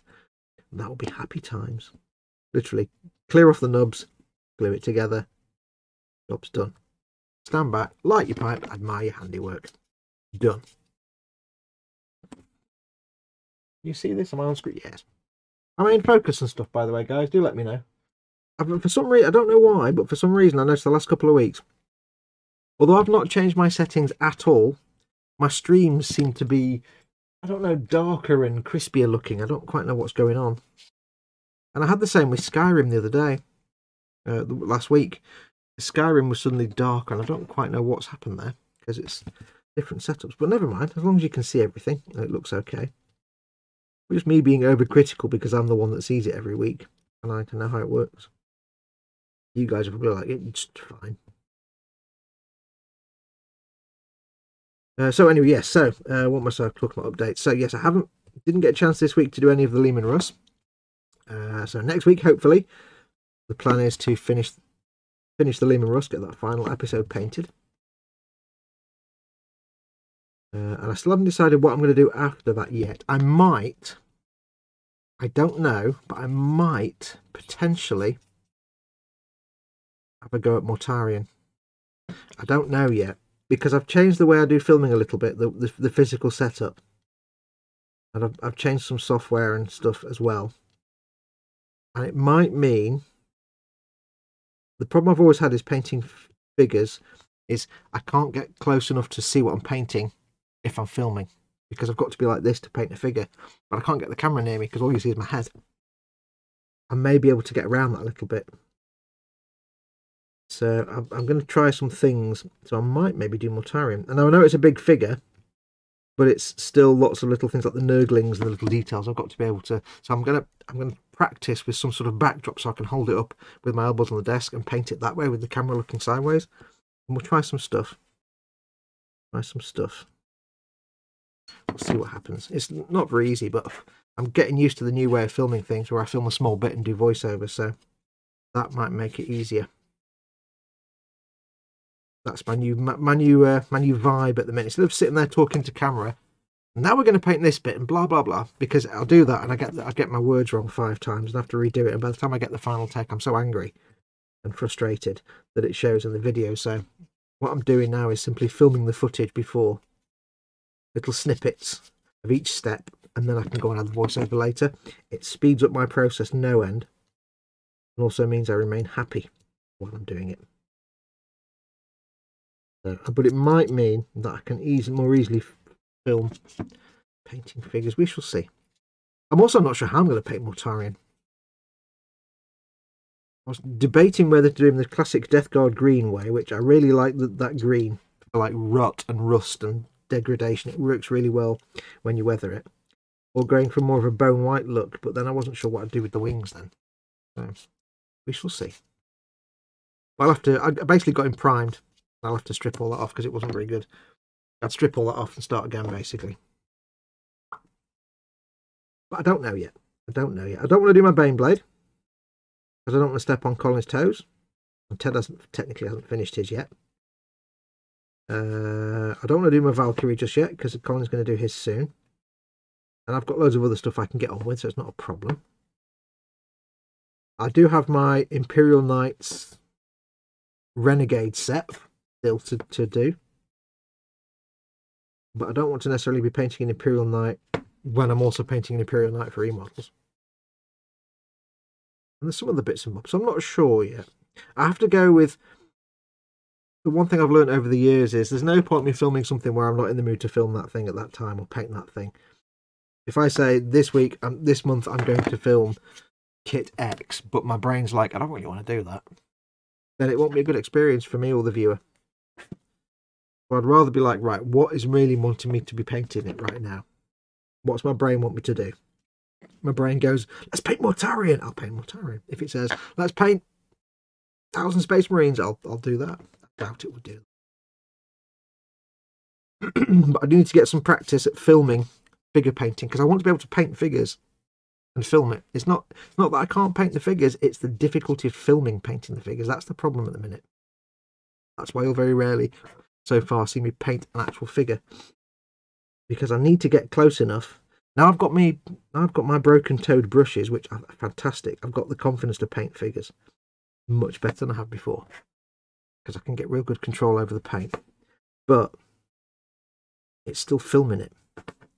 Like when you see, you know, Duncan or uh, 52 minis or, you know, whoever, Midwinter or whoever painting figures, and they've got a little miniature there and they're painting it like this. They've got a proper camera. They've got a proper SLR recording device that can zoom in from a distance. They can have it like three feet away and it can move in and zoom in and you still get a crystal clear like 1080p or 4K shot. I'm filming on an iPhone.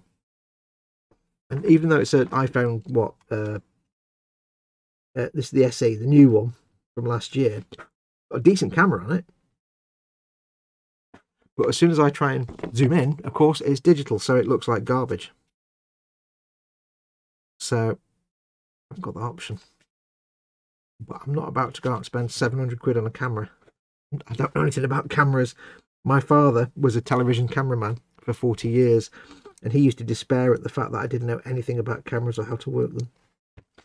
He tried to explain, like, you know, f stops and experiment. I just, no, none of it went in.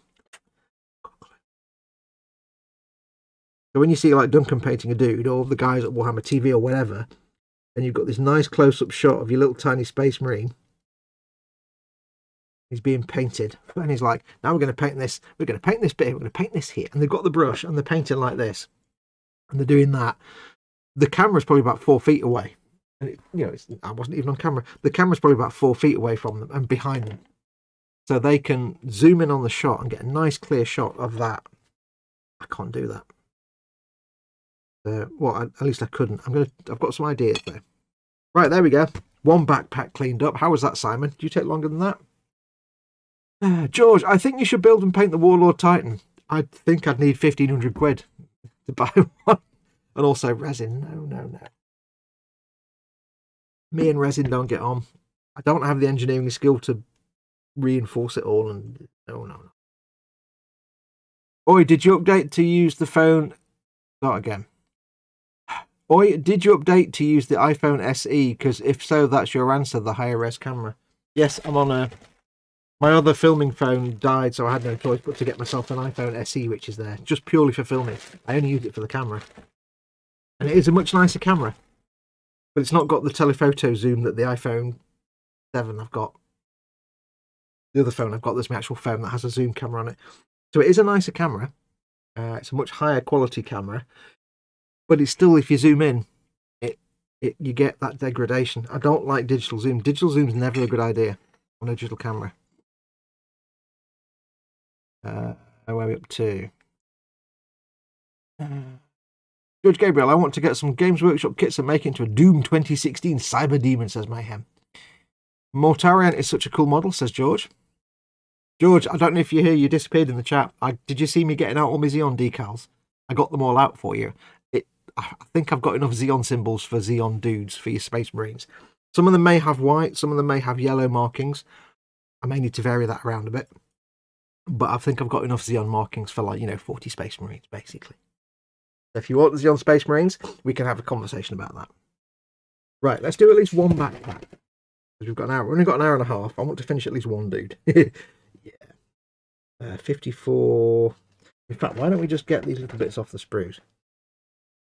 Uh, I can find them. Where are these small pieces? 54 times 10. 54, 54. I really want to use these double knives, but it's for the other guys. Damn it. I might have to give them double knives anyway, just to... I can't, can I? It's not in the, not in the data sheets. Right, these are pretty small, so I can use my nice nippers. Four. Ein, zwei, drei, vier und äh, where's it gone? them. That's not on there. That's not on there. It's that one there. Yay! One, two, three, four, five.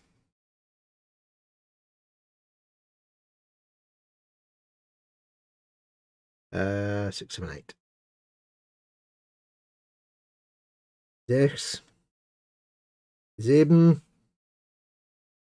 Acht. Aerial time. I dread aerials and things on Games Workshop stuff because they always break. Yes, yeah, so if you want Zeon dude, we can have Zeon. Uh, I think you should paint. I, I, would. I'd say the two things that make put me off a Warlord Titan is one, I haven't got two grand. Literally, they're like with all the bits. I like it, but also me and big chunks of resin. All the reinforcing is well beyond my abilities. That I'm not. I've not even tried building me tanks yet. I need to build my tanks to see how I get on with Forge World resin first. yeah.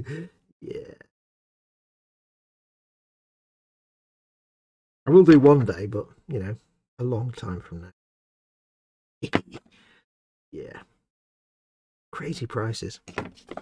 Don't forget, of course, Warlord Titan, that's the probably more than two grand. There's probably about three or four grand if you get all the bits combined. No, like a Warhound Titan can be up like fifteen hundred quid. So a Warlord Titan, which is like what, three foot tall or something crazy like that. Be some expensive shizzle right there. When I get a million subs, I'm getting that kind of money. Could be talking road trips to Forge World to buy a lot of stuff. Till that point, I'll stick with the plastic crack, I think. Right, that's that one done. Uh, what's chat doing? Ooh! I just thought, why don't you have the Gouf Blue Marines as veterans or specialists, Zaku's for grunts, and Char Red for sergeants? option. Didn't somebody say that earlier on? yes, I was saying, George, um, whether you want them all, if we go for the Zaku look, for the Zaku look, if you go for the Zeon look, whether you want all the Space Marines to be green, Zeon green, uh, Zaku, I'll start again. If we go for the Zeon look, up to you whether you want all the guys to be like Zaku green, like the other ones, uh, or you can have them different colours. I was thinking, because some of the colours are different, some of the, the Zeon decals I've got, you could have like for, like he says, green for the grunts, blue for the veterans, red for the sergeants. Or you could have, you know, green for the intercessors, uh, blue, Gouf blue for the blokes with the jetpacks, the interbreeders or whatever they're called. I don't know what they're called. Interbreeders or something. Inter, in, interocitors. All stupid names regardless. And I'll put that on him. Why is that a really shonky fit? What? Have I got the wrong... wrong backpack or something, but that's a really shonky fit. Weird. You know, excuse me, backpacks probably just click into place, don't they? Really snugly fitty. That one's a little bit shonky. Or you can have them as something completely different, George. It's entirely up to you. They're your they're your space Marines.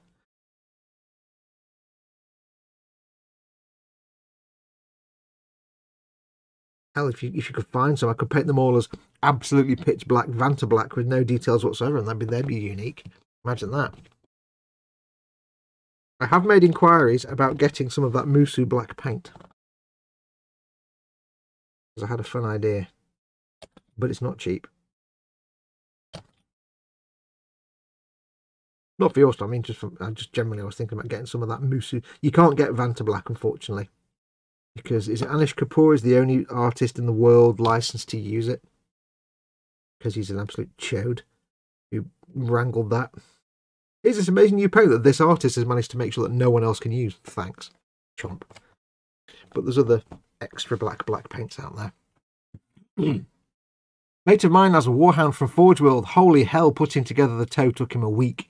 Yeah, the Warlord Titan, the hand, you know, like on an Imperial Knight, you get the slappy hand of bitch slaps on the Warlord Titan, the hand is about as big as your hand. That's on a Warlord Titan. It's like stupid, crazy nonsense. Burpage, Panzer Koenig's in. Good afternoon, all. Welcome, Panzer. Oh, that tasted like soba noodles. Chicken teriyaki. Welcome, Panzer. Welcome, welcome.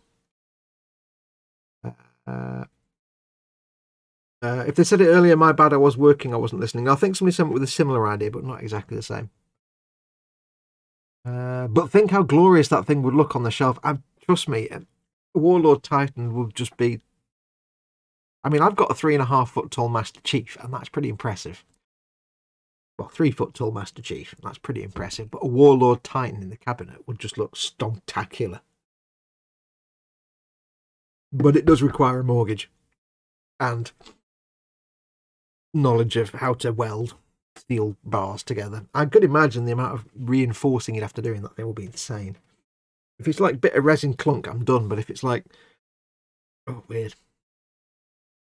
Uh, Nim says Culture Hustle has black 3.0, which absorbs 98% of light, and they have other colours that may be of interest to you. Well, I've heard, I've been re reading about different ones, and this Musou Black, I think it's called, uh, is supposed to be even blacker than that. Uh, and I found someone in Europe that sells it. It's like 50 quid a bottle. So it's not cheap. But I had a fun idea. I probably won't do it because, you know. But I just had a silly fun idea. Uh, well, that was a nice introduction in chicken teriyaki flavoured. I know, just as you came in. Bleh. Just for you, that was. Spider Pig, says Graham. the dark shadows approach, says George Gabriel. Can you imagine that? George is like, can you paint them all in Musou Black? Psst, there you go, your Space Marines are painted. Done. I'd love that. It'd make my life easier. Uh, right, so get another backpack done. What we on? 20 to 5. Yeah, we can get at least one more backpack done, I think. Maybe. I could be overconfident there, I think, in my assessments. Also, on camera will be good. That over there. Do, do, do, do. Yes, I need to I need to assess my um my two Forge World tanks and see what the build experience because I've never had a good experience with resin before. Or I say good. I've never had a pleasant experience with resin. Remember, I'm a painter, not a builder. So anything that complicates the build more than necessary is, is always like eh for me. But like when I built that um, Space 1999 uh, Comlock, the communicator that I used in the videos for the gags, you know, where I'm talking to Pete Mate from eModels. That was a resin kit. And it was literally three blocks of resin. It was a resin block, a smaller resin block, and a resin tube. And even that was stressful to put together because it was it was covered in pits and holes. I had to clean it up and sort it out. So, and other things like my, you know, my Death Korps dudes with their arms. I'm having positive thoughts about those tanks because they look a bit more straightforward. And that'll give me some resin chops then. If I if I if I enjoy the build of those two tanks, then it does open the doors to me to in the future more Forge World stuff. Because there's loads of stuff in Forge World, like just for the Astra Militarum for Imperial Guard, that looks really mint. Some of the tanks and stuff look great.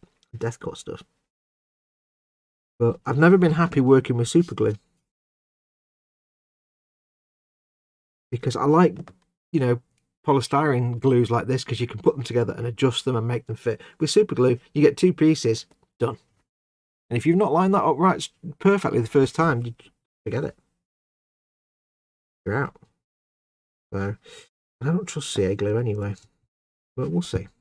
If I've got experience with the with the um, Macharius Vanquisher and the Malcador Infernus, which is a very nice gift from George for Chris Secret Santa, I think I will. I'm looking forward to doing them. I might do one of them next. I don't know, but I'm looking forward to doing them because they look mint. And they're only a small part count, so um, how hard can it be? I know they'll probably need some fettling. There'll be some reshaping to do because they'll be a bit warped. The, the the two cannon on the Macharius Vanquisher, you can see they're not straight, but hey, that's that's just how resin works. I don't mind that. As long as there's not lots of mould slipping after loads of green stuff and filling, that's my big worry. But if I have an enjoyable experience with those two, then definitely it will open up potential stuff in the future. Some of the hybrid kits where it's like based on a Leman Russ or a Chimera where you get like the plastic lower hull of a tank, but then the, the upper hull and the turrets and stuff is all the resin stuff. For some of the Imperial Guard tanks, they look mint. The Gorgon transport looks fantastic, but sadly you don't get the dudes to go in it anymore. Used to be able to buy dude Death Korps dudes to go in it. Like like 50 dudes that were in the transport waiting to be transported and you don't get that anymore.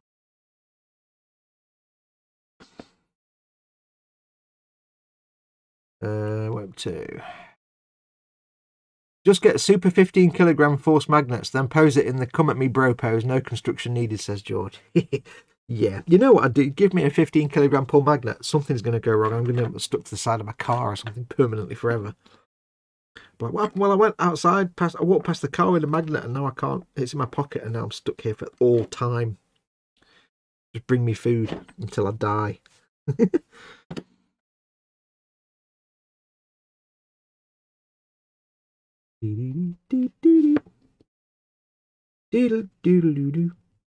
But that's the thing, as a painter, not a builder, I hate saying that all the time, but I do. As a painter, not ideally a builder, anything more than easy peasy to build is kind of it kind of removes the fun factor a bit. I do enjoy building Games Workshop stuff because it's fun to build. It's, it's it goes together nicely. I don't enjoy building Revell stuff because it's not fun to build and it goes together terribly, and I have to do lots of filling and repairing. Oh, and you, but you get uh, just an illustrative point. So resin is kind of scary for me. I need to ease myself in into not sucking at it. But we'll see how it goes. Like I say, I'm looking forward to those two tanks. And like I say, if I do enjoy them, and I think I will, um, there may be more Forge World goodness in the future. The only thing, of course, is I'm not going to do any resin building on a live stream. Resin building will be on pre-recorded only.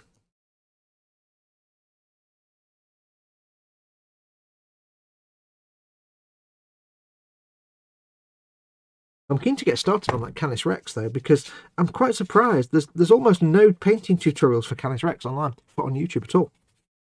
Very few. I've, I've, I found like I found some reviews which are just let's look at what's in the box, which is not. I hate that. It's not a review. You can't review something you haven't assembled. You, oh, it's, it's, a what's in the box. It's not. A, I hate people. Oh, I hate when that people do that on videos. Let's review this kit you're not reviewing it you're looking at things on a sprue it's you, you can't speak to the quality of the kit how well it goes together or anything. It's just, oh it's not a review it's a, just a oh. anyway yes there's a few of those. Going off on a wibble there. Falling and wibbling. Um but there's no real painting guides. And even i'm i'm i'm, I'm having thoughts about how i'm going to paint it. Not fully decided yet I mean, I know how I'm going to paint it to look like Canis Rex. It's got to be silver and red and black. But a lot of the Canis Rex shtick is that it's bare metal. A lot of the armour is like just is, is kind of metal rather than painted a colour. Now I know perfectly how to paint it. I, I use the colours correctly. The problem I've got is it's like a gunpla. It's a mixture of you want the painted parts, the red and blacks, to be matte, but you want the shiny metal exposed armor to be shiny but you don't want the inner frame to be shiny as the armor. The armor's got to have more of a shine to it than the inner frame so then it's like okay well there's various things i can do but if i'm showing people how to paint it i've got to assume that some of them may want to play it on the tabletop. So for example i can't use things like c1 metalizer because you can't if it's going to be played on the tabletop it needs to be given a protective varnish coat but if you put a protective varnish coat on, of course, that kills your metallic finish. Because you want matte varnish on some bits and gloss on So it's, it's the practicalities of what do I actually want it to look like at the end in such a way that people can play it on the tabletop. And that's the frustrating things with things like, you know, Warhammer TV and, and Duncan's painting guides. They're really good painting guides, but they never tell you what the end bit is. Because if you took any of that Warhammer TV stuff and it on the tabletop, all the paint would come off within you know days, within minutes. So it's like you can paint a beautiful shiny metallic gold thing, and then you put a matte coat on it, and it's just it's just brown. So it's quite challenging. So I've not quite figured out fully the the painting order. Like when am I going to varnish this? I'm going to varnish that. Do I need to do the whole thing in a gloss? I mean, one option is to do the whole thing, all the armor parts as gloss. So paint them all up as gloss varnish paint them all up, gloss varnish it so the metallic stay shiny and it's protected. And then just matte varnish the bits that need to not be shiny, either with a matte varnish or if it's not possible to airbrush that on, uh, simply apply some Lahmian medium as a matting agent over the gloss. You've got choices like that, you see. So not quite figured it out yet, but there's not really any guides online. On YouTube, there's hardly any. I can't find any how to paint. So I'm keen to get it done so that when somebody types in how to paint Canis Rex, of course my videos come up. That's what I'm quite surprised because it's not an old kit. It's been out about a year or so. Oh, la, la, la, la, la, la. Someone did a huge central stage set in Vantablack. The whole crew had to go on a training course on how to move and handle it. I think Squidmar has just done a video where he paints with Musou Black. I haven't seen that. I, I what did I read about it? It was in the. Um, I can't remember where I read about it. I read it on some blog post. I'm like, oh, like look of that. But I have a specific idea for it. Don't I don't have an idea for. Let's have a look at this paint and see what it does. I have just a specific thing I want to paint with it. Just a stupid fun idea. It's a stupid idea anyway. It's Stuart Semple. Uh, he made a black 2.0 than 3.0 because Anish Kapoor is an expletive. So he made the rule that anyone except Kapoor, anyone linked to him. Yeah, basically, Vantablack, the company, the Vantablack paint was invented by whatever company.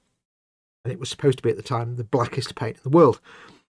But Anish Kapoor, some artist that most people have never heard of, came along and signed an agreement and made sorted out an agreement whereby he would use it, but he was the only person allowed to use it. End of. No one else was allowed to use it. No other artist. So all the artists in the world are like, you're an ass. Now we can't use that. So this other guy, Stuart Semple, made his own. just said, you know what, I'm going to make a paint that's just as good, doesn't cost as much, and anyone can use it, except Anish Kapoor. Uh, but I, I think Musou Black is darker than that, from what I've seen anyway, red. Musou Black is pretty dark, hardcore stuff. I need to clean up these little side bits, but do I do that now? These came out quite neat and tidy. No, maybe not. I'll glue this on. What we'll do, I'll glue this one on, and then we'll just clean up these little... I've got some rough scratchy bits there, so I need to clean that up with some extra thin. Um, people that do anything to make something seem like it's popular it's just paint. I know someone did a genuine Vanta Black watch face. The central stage panel freaked people out as they stuck it between two massive video walls. As it was a massive contrast, people who saw it said it tripped them out as it didn't look like it could happen. yes, I, I, I wouldn't be there. I wouldn't make a video about the paint just to make a video about the paint. I mean, it would be, but it wouldn't be. Here's all about this paint because people know what that paint is, the Musou Black anyway. It's just that I had a, I woke up one morning and thought, oh, that'd be brilliant. Stupid little idea that wouldn't be worth the fifty pound it cost me for that paint, but it was just a stupid idea. And I'm like, oh, you know what? That'd be hilarious. It probably wouldn't. In my mind, having just woken up, it was it was a hilarious idea, which means it's probably the worst idea ever. But we'll see. I was going to order some last month, but uh, finances suddenly changed at the last minute, so I might see when I get my uh, my next check from the HMRC, my next sole self-employed survival pittance check. I jokingly called Trump books last year. Uh, we'll see. Might get myself some. Just for fun. I mean, I know the bandwagon's long gone. I, I wouldn't make a, a, film about the paint specifically because that's that's been done. Yeah, I was surprised how many videos that aren't actually on YouTube about Canis Rex that don't just involve an inbox review. sorry, an inbox show and tell, or how to build it, to magnetize it, but nobody's shown how to paint it. Now, I'm not going to paint it nice and neat and tidy, like on the box art. I don't do nice and neat and tidy. Imperial Knights are hundreds or thousands of years old. Now I know Sir Hector looks after his Imperial Knight because it's the last of its kind and he's the last of his house. He's going to take care of it, but same time, he's not got the same resources that he had when House Cerberin was around. he's limited in what he can do. So his, his knight suit's going to be dirty, it's going to have some wear and tear. I've got some freedom to wear and tear it a bit. It's been in some battles. He's seen some combat. There we go. Another backpack done. Yes. I'm going to quickly run some extra thin over the scrape a bit. I've got most of the glue off. I'm just going to run it over there just to smooth off any little fluffs that I've got on the little greebles. You know, like any little fluffy bits of plastic where I've scraped it with the blade. Just to clean it up. There we go. Lovely. there are literally thousands of videos of people using Musou Blacks as skill models. I'd rather try that liquid mirror paint. Yes, could do. I say I wouldn't be doing it because I want to do a Musou Black. I just had an idea. It was more about the idea. I would like to try the Culture Hustle mirror paint. I've not seen that.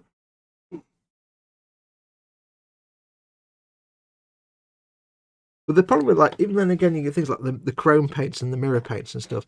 The problem we have then, especially with tabletop miniatures, is what do you do with it once you've painted it? Like if you paint the Space Marine in silver, in this like liquid in this silvery chrome paint, and it looks mint. Um, and let's say you're able to then paint all the other stuff around it. Let's say you paint a silver, you paint a silver Templar or something. How do you protect it to play it on the tabletop? is you put a gloss varnish. You obviously can't put a matte varnish over it because that would be stupid. But if you put a gloss varnish over it, most reflective like chromes and things don't fare well under a gloss varnish. It changes them. It, it, it dulls them. It's counterintuitive, but it does. It changes the reflective properties. If you get graphite and rub it onto something and you get that nice shiny graphite effect, and then you spray a gloss varnish over it, it's just grey. It just change. I mean, a matte varnish it makes it even more grey, but even a gloss varnish it can just make it grey. So how do you how do you get around that? if I'm just buying something, if I'm just painting something to sell it, I don't care. It doesn't matter. I have to make it clear to the buyer that it can't be played on the tabletop because it paint won't survive.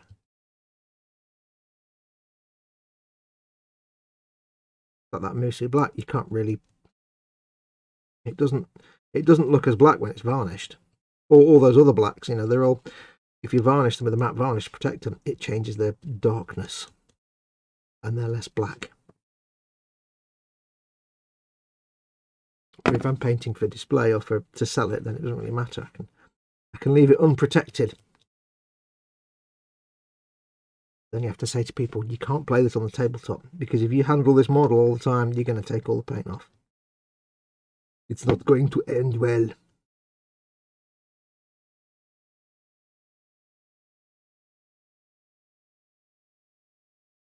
But anyway, I just had a silly idea. It's probably not actually if if I do it, it's probably not actually going to be that silly or fun, and it won't be anywhere near worth the fifty odd quid it's going to cost me to get a bottle of the paint. It's one of those things that the only place I can find to get it in Europe is one of these places where you have to fill out an online invoice and send it to them, and they send it to you. It's like wow, old school. Because only a few places that sell Musou Black. I might not even do it. I don't know. It was just an idea. I woke up one morning with this funny idea. Uh, might do it one day. We'll see. We'll see. If not, doesn't really matter.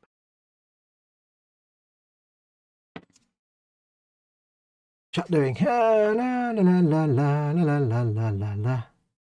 Uh, just read the article on the stage panel, the one, the, black one, and the sound engineer went into the panel, lost his bearing, and fell over, causing $20,000 of damage. Instead of painting super duper black, take a picture with the cap on, the lens cap on, and tell everyone it's your Vanta Black Space Marine Army on night maneuvers.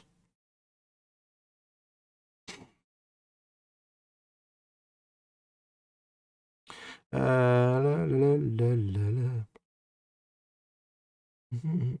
just use the Molotow to paint some Tau stealth units going for a Predator style optical camo effect. Cool.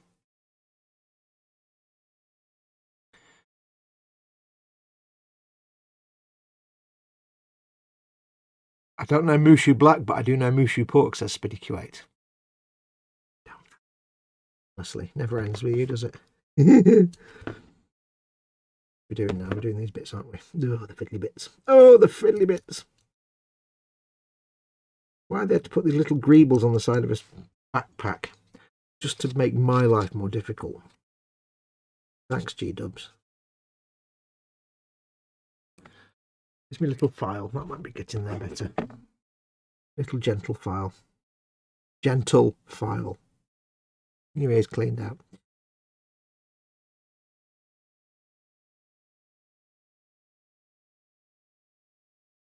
of course, the problem with spraying any kind of chrome and reflective paints like your chromes and stuff is um, your prep really has to be spot on.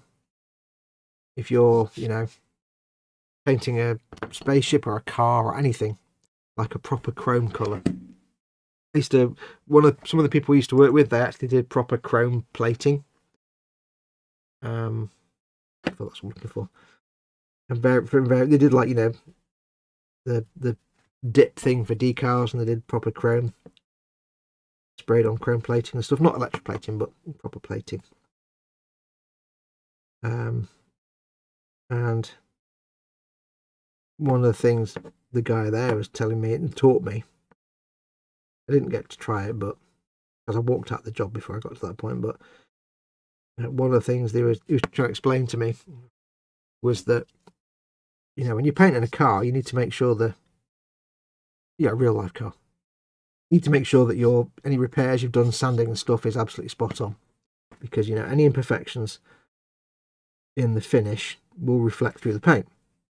He said, that's just for painting a normal car colour, you know, whatever. Because the paint won't show it, but when you put the, the lacquer coat, the gloss lacquer over the car, it's going to show any imperfections. He said when you're doing chrome, the slightest, tiniest bit of even a hint of a sanding mark or an imperfection in the surface, like even the tiniest scratch, will be like amplified a million times when you get that chrome plating on there. You'll see it from space, basically. So when you're doing any kind of modeling and you're trying to do chrome effects, however you do it, you have to make sure your prep is so well done. When I did the uh, the mega size unicorn Gundam,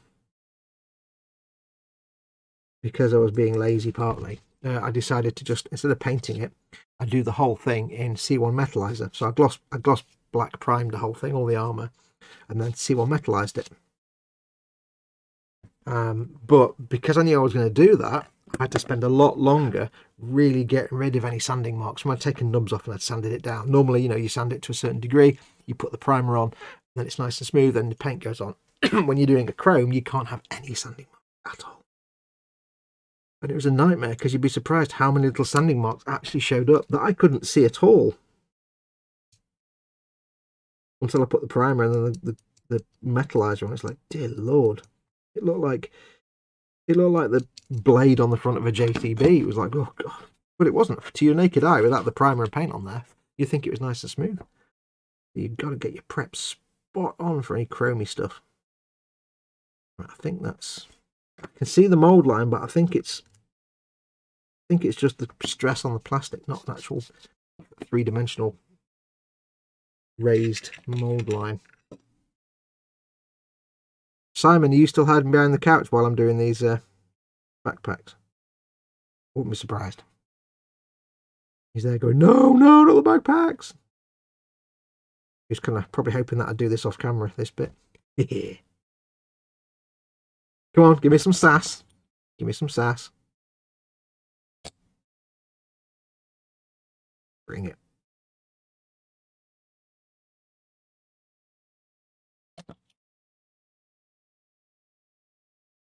How much did you get to, done today, Fox? Well, I made four backpacks, three backpacks, and I've glued on some heads. Three hours. Yeah. I do not work fast. I think you understand that now. I think this is taken as read with me. I do not work fast. Even when I'm not being extra special careful buildy style, because the breath of the golden demon winner, twice winner, has been imparted onto this plastic been blessed by the Emperor of Mankind himself. Even when I'm just building my own stuff and it's just, yeah, I'm not fast. I never have been. I never will be. I think part of it is because, like I always say, I hate the building part. The building is not what I do this for. But with Games Workshop, it's weird because oddly, I actually enjoy the build part of Games Workshop more than I do anything else. I'm kind of happy to take my time and savour it. Because I normally hate the building process, when I do find myself enjoying the building process, I like to maximise it and say, you know what, I'm actually enjoying this, I'm going to make the most of it. You know, if, you, if you're building something that you hate building, that's not a fun experience, you'll try and get it done as quickly as possible. When I'm building something that I've left a big mould line there, uh, when I'm building something that I actually enjoy the process, I might try and just you know, go with it, flow with it most of it. I've left a big mould line on this thing there. I need to clean that up later. You spoon. I can't do it now. It'll make his back. Wouldn't a matte varnish just turn it grey and remove the reflecting? Yes, that's the problem. A matte varnish on anything shiny will obviously make it matte, but if it's like a chrome or if it's a uh, metallic powder, it'll just make it go grey. But sometimes even a gloss varnish can do that. I've tried. Uh, I put and it's it's random. I had some C I had some spoons with C1 metalizer on. I put C1 metalizer on it, and it's nice and reflective. I put some gloss on it, some pledge, and it went a little less. It wasn't quite as bright. It looked like something with gloss varnish on the top. But then the next time I did a spoon, exactly the same. C1 metalizer, gloss varnish. It just went grey. So it's kind of random. It's kind of weird a, a, metallic powder looks like like chrome or metal until you put gloss varnish on. Then it looks like something painted silver with gloss varnish on it. Yes. I'm returned with monsters, says Mayhem. Discuss your monsters. Uh, where are we?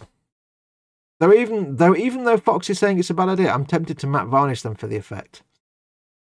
What we're talking about?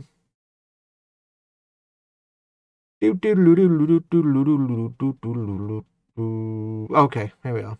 Just use the Molotow to paint some stealth suits. That was the one earlier on, and he's tempted to tempted to matte to matte varnish them. I would do want to test one first because it may just make them look grey. Because the problem with that Molotow chrome or Molotow chrome, however you pronounce it, is it's not very durable at all. You can't handle the model, especially if it's tabletop. It'll just come off, and you'll get fingerprints on it. So you need to seal it with something. And that's the problem. What do you seal it with that doesn't then make it look like? Often it just looks like something painted silver that's got a gloss varnish over the top. Uh, funnily enough, I painted two spoons this morning for the test, so just got to wait on those. We'll chuck the just painted picture into the group. Yay. Only thing I got done was assembling this Indomitus Blade Guard Ancient. Uh, man, picked up in the Boomhut. Cool.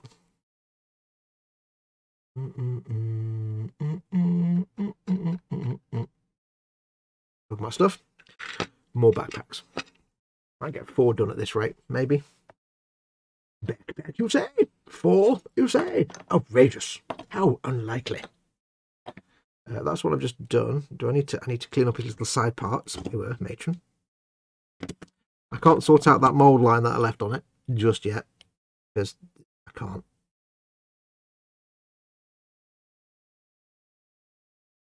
And I am seeing, I'm hoping that these gaps in the belts that I forgot to fill in any way, shape or form, it seems, on some of these guys, I'm hoping I can cover them with greebles, like accessories and stuff, pouches and that. Let's come over here. You've all got backpacks on now, yes. I do like this Primaris design, you know, compared to normal Marines. I do like this this design. It works so well. More realistic pro uh, proportions. I know they're still like eight and a half feet tall, but And if you want an idea, I've done this before, but if you want an idea how big a Space Marine is compared to a normal human being, that's a Death Guard dude. Although he's kind of running, his legs are a bit squished in a funny angle. That's a Death Guard dude. That's a Space Marine. Just so you get an idea. I like doing that. Right, where's the camera? I'm always off camera, aren't I? Uh, the Molotow Chrome is fine unless you purposely dig into it like some unnamed people have done just to be an arse about it. But if you, if it's a tabletop model though, yeah, that's going to get a lot of wear and tear. You can't. That's the problem. You can't have a model on the tabletop that you've not protected with varnish in some way. Which, when it's a tank, fine, doesn't matter. When it's something that's like shiny though, I've got shiny and matte. It's where you what you do and where. Like for example, if I'm painting, say, I don't know, a, a vehicle, I might paint the whole vehicle and then matte varnish it. But then if there's bits on there that need to be shiny, like handrails or anything shiny, like gold stuff, what I can do is go back in with some pledge and just brush that over to give it a bit of a gloss. It's on a tiny detail. The other option, of course, if it's a mixture of gloss and matte, depending on what you've what the balance is, is to is to varnish everything gloss and then matte down the matte bit. So, for example, if I wanted uh, if I was painting, say, a silver Templar, and he had he had a, a, a, yellow shoulder pad and everything else was silver, I could theoretically paint him silver, gloss varnish it, paint that yellow, or rather, well, start again, paint him all silver, paint that yellow, gloss varnish it, and then either matte varnish or Lahmian medium the yellow shoulder pad so it wasn't shiny. If you want to avoid masking. But it's not always that easy. Sometimes it's a bit more fiddly than that.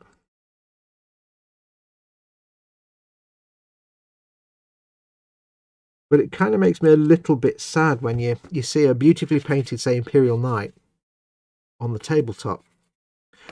Or that somebody's painted to play on tabletop. And it's beautifully painted. Loads of detail, but it's just had a matte varnish put over it.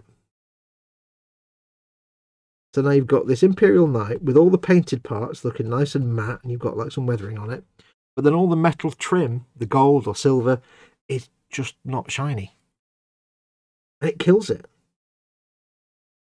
It's like, well, I mean, especially with gold trim, because gold doesn't tarnish in real life. It gets dirty.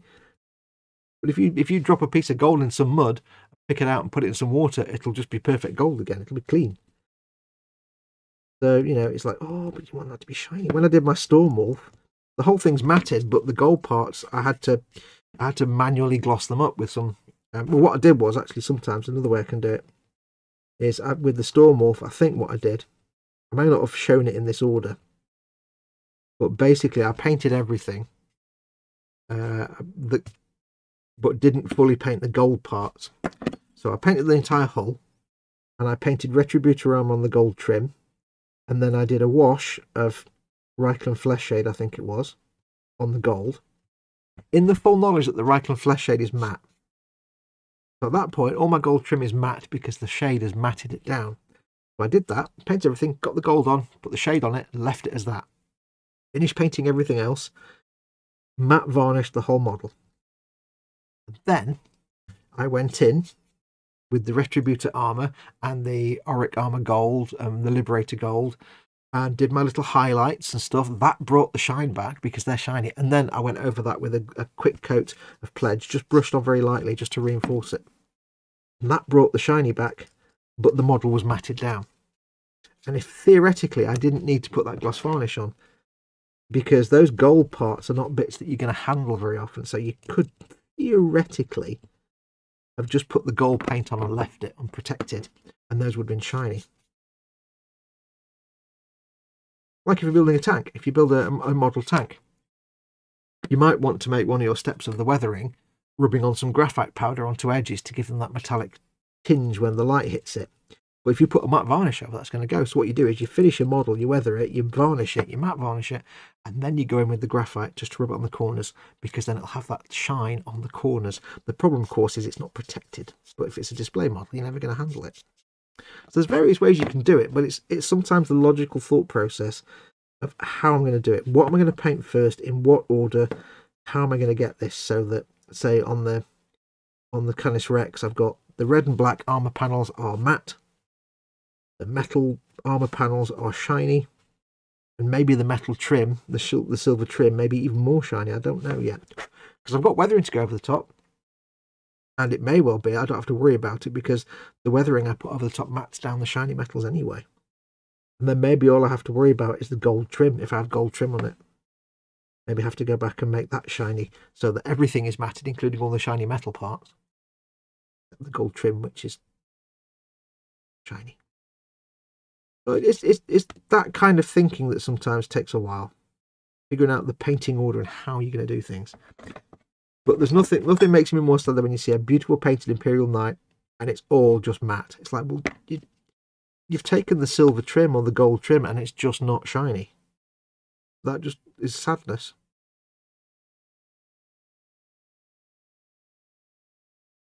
And I need to protect it for the tabletop, but a little bit extra thought and care, and you could have had a mixture of shiny and matte, and that would look fantastic. But you do get bogged down in the how am I going to do that? Way of thinking of it.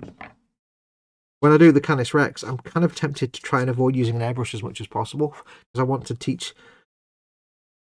And I'm trying to teach people not everybody who's going to paint the Canis Rex is going to paint it with experience. They're not all experienced model makers. Some people will be painting it because they want to play it on the tabletop and they might be like 14 years old or, you know, young builder or an inexperienced modeler. Because there's plenty of people out there that play Warhammer that don't paint models. They know what they're doing. They just like to play the game. You might get that and decide to paint it, but I, I could go and teach them airbrush. But if they're if they're just still a beginner in painting terms, it's easier if I can teach them how to paint it or show them how to paint it without using an airbrush. Because then it's more accessible to everybody who doesn't have an airbrush. So with Warhammer, I like to try and avoid airbrush it if I can. A, because I'm lazy, but B, because it just makes that tutorial more accessible to people, to more people. So it might be. I'm not quite decided how I'm going to do the metallics anyway.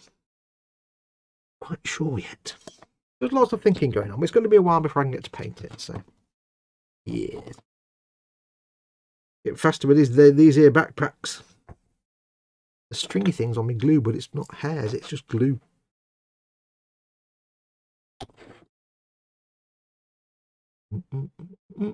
Oops. Yep.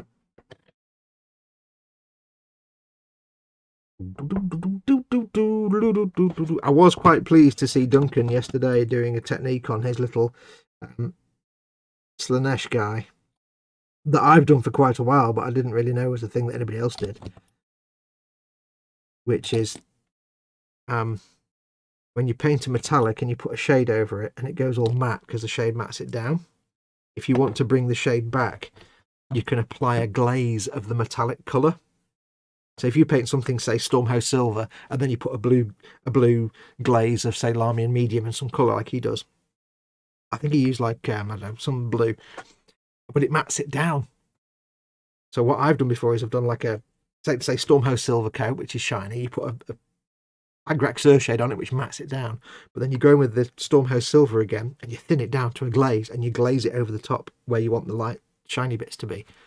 And it just brings that shine back without repainting it. I was quite pleased to see him do that because that's something I've done for a while, but never really thought that anybody else did. So I like that. I've obviously been doing something right that I figured out by myself. I like when that happens. It's nice when you realise that something you've done that you figured out yourself is actually an established process, but other people have thought of. Because you think, wow, I must know what I'm doing because I figured that out by myself. Hey, where are we up to? Uh, Billy says, I decorated a room for my mum in exchange for Indomitus. It was well worth it. I like that kind of deal. Uh, Molotow, uh, where are we? Uh, I've seen a few contradicting reports saying to leave it 24 hours, some say a week, so leaving them for a week.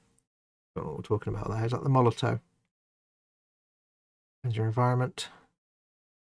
I'm cooking in a drying cabinet. Adding my heat, adding any heat, you risk it drying too fast and going dusty. I don't know what we're talking about now. It's going to be different for every person because of environment. I've got to be honest with you. If a paint is that finicky that you have to dry it in a certain way or you have to leave it for so long or you can't dry it quickly with... If a paint's that finicky, I'm just not going to use it. Regardless of the effect. Because uh, in my world, I want to be able to get a paint, put it on, crack on with the next bit. I don't mind that, you know, oils and enamels take a few days to dry. That's fine. I don't mind that, you know, um, lacquers can dry within seconds, but some other paints don't. I can live with that. But when it's like you've got to apply it in a certain way and it's got to be left this long and you need you can't put it in the heat, you can't put it in the cold, and you can't do this, it's like, you know what, I'm I'm just putting it back in the box now and I'll go and get something that I know works. I'm not very advent not that I'm not adventurous, it's just I've got time. I can't be I can't be farting about. I want things just to work out the box. Uh, I need to pick a colour for a 70 Boss Mustang. Original plan was black, but not sure now. Ooh. What's a good colour? Oh, you know, oh, I've always liked on muscle cars is lime, I mean, bright lime green, proper muscle car lime green with the black stripe, the bumblebee stripes. Proper lime, I mean, that kind of green. Proper like muscle car lime, even brighter than that lime green with the black bumblebee stripes. Oh, just, just imagine you've got the trunk of a car like that. At the side of the car, you've got the trunk here. And on the back, you've got the gorgeous black, uh, like a thick one, thin one. Going around. Oh, oh, yeah, I like me some muscle cars. I like me some muscle cars. Plymouth Roadrunner in full NASCAR set with the long nose and the massive. Oh yeah, Hemi Cuda. Oh, that's my favourite. I, I, have seen a Hemi Cuda in that kind of livery, lime green with the black stripes, and I may have done a little bit of a sex wee when I saw it. I was like, wow, it was a car show, and I'm like, oh. I'd always liked the pictures of them, but I'd never seen one in real life until I went to a detailing show and there was a Hemi Cuda right there. It's like, oh, it's lime green. Oh, it's got the bumblebee stripes. Oh, I've done a bit of a sex wee. Oh, can I take it? Thank you. No, I couldn't. I did. They wouldn't let me take it away, unfortunately.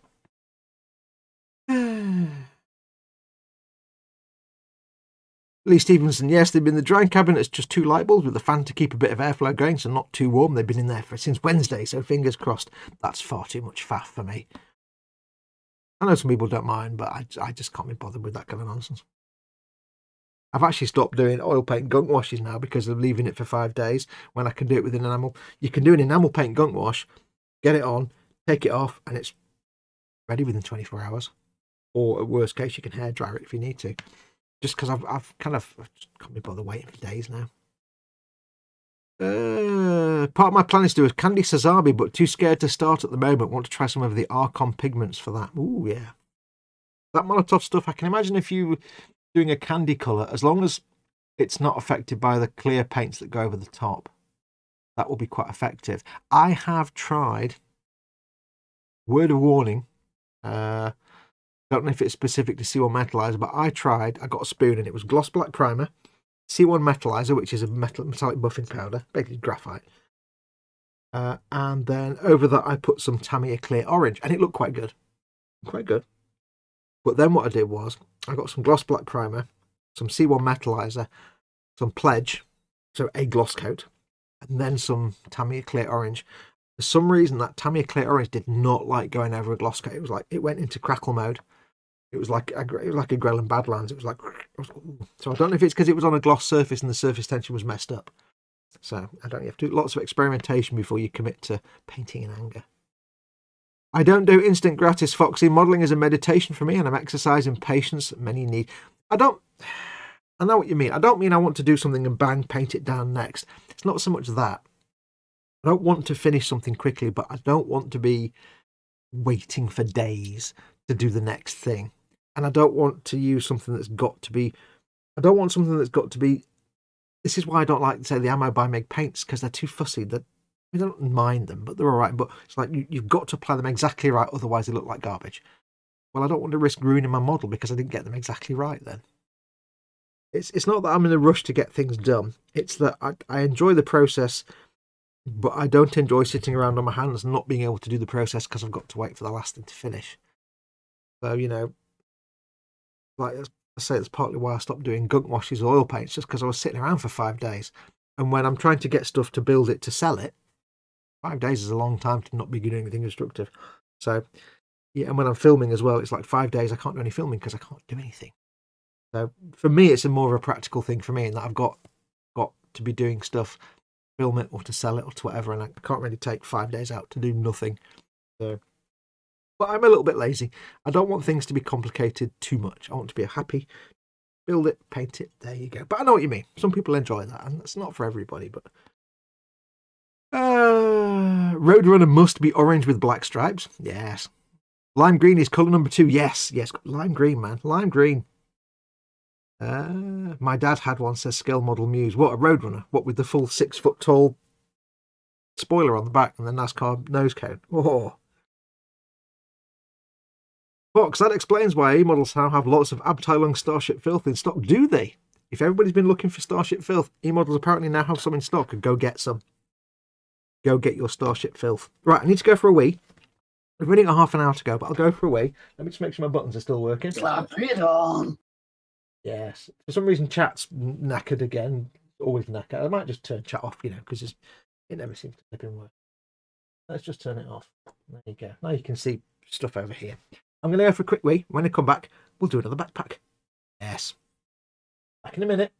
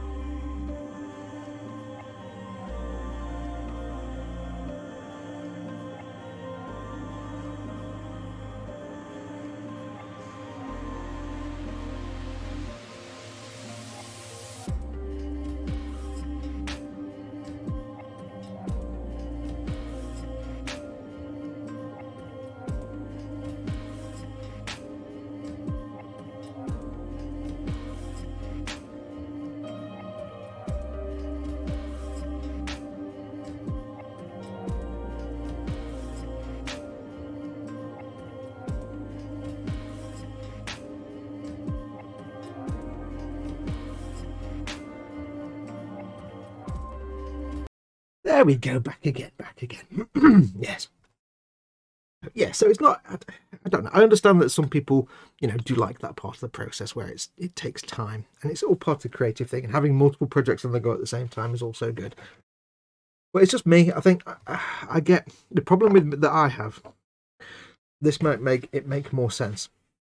The problem that I struggle with with myself is that I get bored instantly with doesn't matter what I'm doing. I could have been looking forward to doing something for years. As soon as I start doing it, I'm bored. I, I really suffer from intense ennui about things really easily, and I have to do everything I can to not get bored and go and do the next thing instead. To, to stick with something.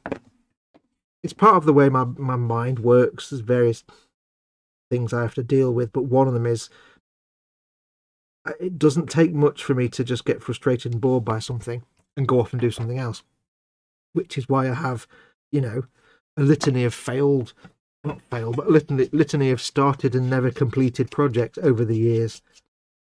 Um, to my shame, and I'm acutely aware. It's something I've become acutely aware of over the years. That I just I get so bored, and if I get bored of something, it's not something I can fight through very easily. If I get bored of something, really bored, I just drop it. I just walk away.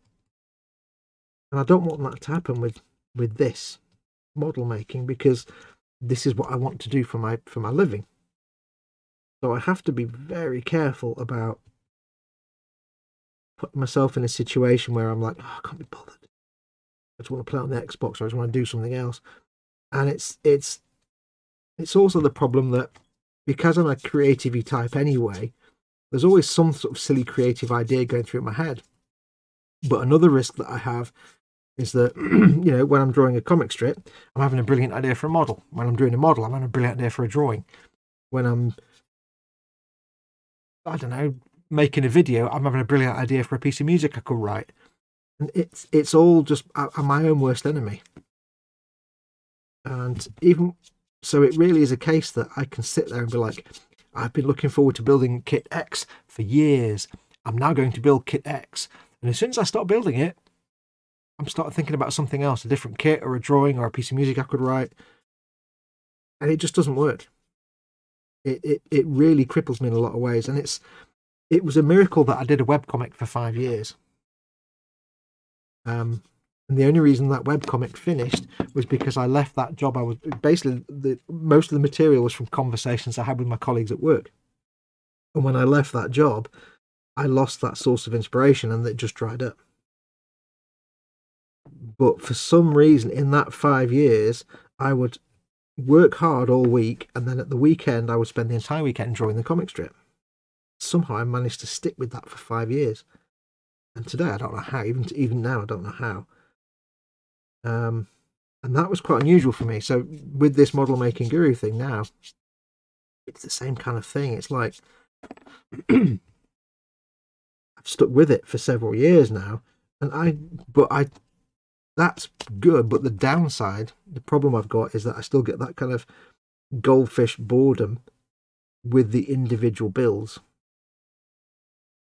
And it doesn't take much doesn't take much to distract me to something else, but it takes a lot of effort to get back into focus on what I'm doing. And if something goes wrong with the build, that's even worse because then I get the frustration that something's gone wrong, and then I get the the stress of it, and then that makes me go and think about something else, and then I get the boredom of it. So it's like, so for me, when I'm looking at, you're wondering why I'm saying all this. When you're looking at you know, the conversation we're having about, you know, just want things to work. I don't want to have to faff about and do this and wait for three days and apply it in the correct manner. It's not so much that I'm lazy, it's more just that I know that's a big problem for me. Anything that increases my chance of just going off and doing something else is something I need to avoid. So for me personally, I can't I can't get involved in things that are fussy or complicated or you know they must be applied and then you must wait for four days and store it in a 10 degree centigrade cupboard and pray to the Omnissiah and run around in circles and spit three times no. Because that's where i just get bored. And then the boredom comes in and then i give up on that project. I'm not I'm not going to be specific about this, but there are there are if you watch some of my videos, there are ones where you can see the point at which I lost interest in the project and I just kind of rushed through the rest of it. I'm not going to be specific, but you, if you know me, you'll, you'll you'll spot it here and there. And I don't mean the big Millennium Falcon, no. but there are there are things on there where you I can see the exact point at which I'm like, I'm bored of this now. I want to go and do the next big thing. And I have to fight against that because I need to I need to stay focused. I need this to work. I need this to be my my source of income. I don't want to find myself in five years being the middle-aged guy in an office full of 20-year-olds who are telling me what to do because I you know because that's just you don't want that. Also, I don't want to be in an office working in an office anyway. But so I can't really afford to, just wander around aimlessly like I do with most things. and it sounds a bit dramatic, but it's absolutely the case that it can just be something simple as I need to leave this paint to cure for four days. Well, I can't afford to have multiple projects on the go because if I get bored of, I'll get bored of one doing the other one. I need to, because of the way my brain works, I need to do one thing at once as much as possible. Also, because I've not got enough space, but I need to avoid that kind of puppy with multiple tennis balls scenario. The worst thing I can do. So for me, it's a bit of a pain in the bum. It does mean I've got to stick with one thing, but also got to try and avoid stuff that just makes life hard. Anything that that risks that that makes the process not enjoyable is a risk, and anything that makes me have to go off and do something else, like you know, I'm enjoying this build, but now I need to leave this paint to dry for five days. I'll go and play some Xbox. Three months later, I better do some work and some modelling, hadn't I? Yeah. Last thing you want to do is send me off to play on my Xbox. That's the worst idea. Bad idea, that. So I, I understand what everybody's saying. Yes, some people enjoy that, and it's not a bad thing. But for me personally, I can't afford to take that risk. I need to, I need things to work and work not easily. I don't want no challenge at all. But I need things to work and not be fussy, which is why I'll try and avoid the ammo paints because I, a because it's it's not that much fuss to use them. It's just using mist coats. But because there's a chance they'll screw up if I don't get it exactly right, I'm not risking an entire project on on that, especially when I'm filming it. Because the problem I've got is if I'm filming something, a build, I don't film it and then some people what they'll do is they'll, they'll film a whole project and then they'll put the videos together which is fine. I, I don't do that. What I do is I film it as I go along. So when you see a video, like a 20 minute video, episode four of painting the such and such, that's the stuff I've done that week, pretty much. I film half an hour's worth of stuff and make an episode. So I can't afford for to get it screwed up halfway through because if I screw it up halfway through, you've already seen the first four episodes of a build what happens if I'm halfway through painting something and I screw it up? You've seen episodes one through whatever. You've seen me do the building and the priming and the base coat, and now suddenly I'm like, and I can't show you anymore now because I messed it up and I've thrown it away. So I can't, I can't get too risky. I don't have the luxury, unfortunately, of doing it because I enjoy it, it because I'm filming it. My commitment, and it's a commitment I uh, happily take on. My commitment is to show people how to just a basic way to do stuff. To give people a rough idea of how these things work. So i have to make sure that whatever i do i get to the end of it. I can't just stop halfway through and say yeah i messed it up and i can't be, i can't fix it. So we'll just have to leave it there. I can't do that so if i'm building it just for myself and i'm not filming it then i'll probably I do take more risks but yeah, I'm in a, I'm in a different position to most people in that I can't afford to take that kind of risk, sadly. Anyway, carried away there. Right, swig of uh, oh, swig of not tea because not tea is the best. Uh, where are we? Uh, I'm aside from my Age of Sigmar, that's half done. I have maybe 15 random projects, so I get it.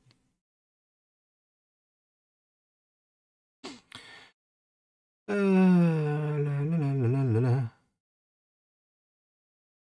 uh, we're talking about. Uh, I also work too foxy. I didn't have to leave home for. I'll start again. went wrong, didn't it? I also work too, Foxy. If I didn't have to leave home for work, I'd run out of models to do with all that time. yeah, you just buy more though, wouldn't you? You just buy more. Uh, I'm back. Just watched Motorsport from Sonoma, California. Cool.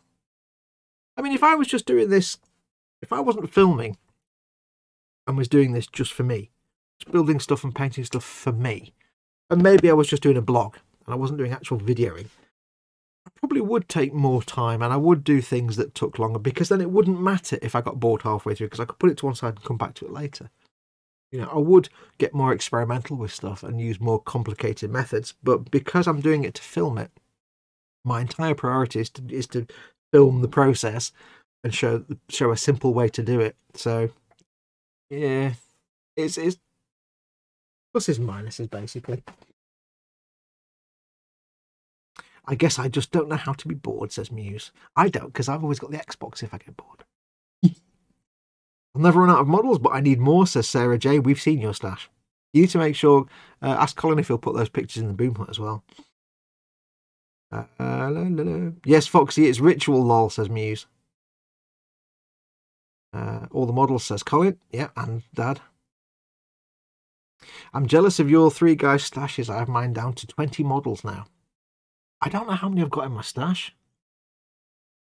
I mean, right in front of me here, I've got one, two, three, four, five, uh, six, seven, eight, nine, eleven, twelve, twelve, thirteen, fourteen, fifteen, sixteen, seventeen, eighteen, nineteen. I've got about 20 in here in this room. Now, keep in mind that anything from the entire Space Battleship Yamato kit to uh, a little box with five dudes in it that somebody sent me to the the five Warhammer heroes that Jamie sent me. That's in here. In the spare room, I've probably got God knows.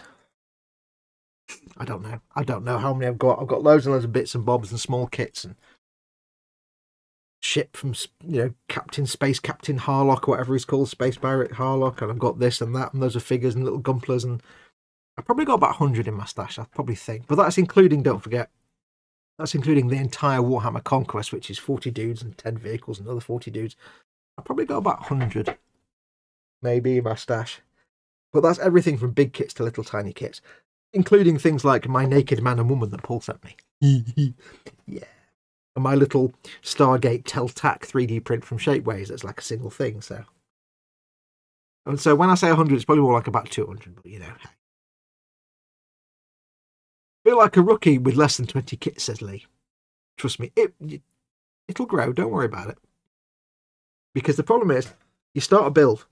This will always be the way, and nothing to be ashamed of if it doesn't happen yet. You start a build, you're working on the build.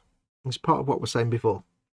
You're working on the build, it's the most important thing in the world because you've been looking forward to doing it for ages. The moment you start it, you'll take a quick break to go make a brew and you'll have a look on the internet at your social media and you'll see a photograph of a kit that's just been released from some man and you'll be like, oh, oh, would you look at that? Oh, and that's it. The rot sets in. Your brain's now, I've been wanting to build this thing for years, but think about that shiny thing you just saw on that post on that Facebook, on that Twitter, whatever. And now all you can think about is that other kit. Like I got the Space Battleship Yamato, and all I wanted to do when I ordered it, I was in the middle of building something else. All I wanted to do was dump whatever I was working on and go and build my Space Battleship Yamato. It's the 1 500 scale, the three foot long one. And I was like, oh, come on, come on, come on, I want to build it, want to build it, want to build it. And then when it got to the, I'd finished the one I was working on. Well, let's just say it's still in the box and unopened after three years. It's still under the bench here.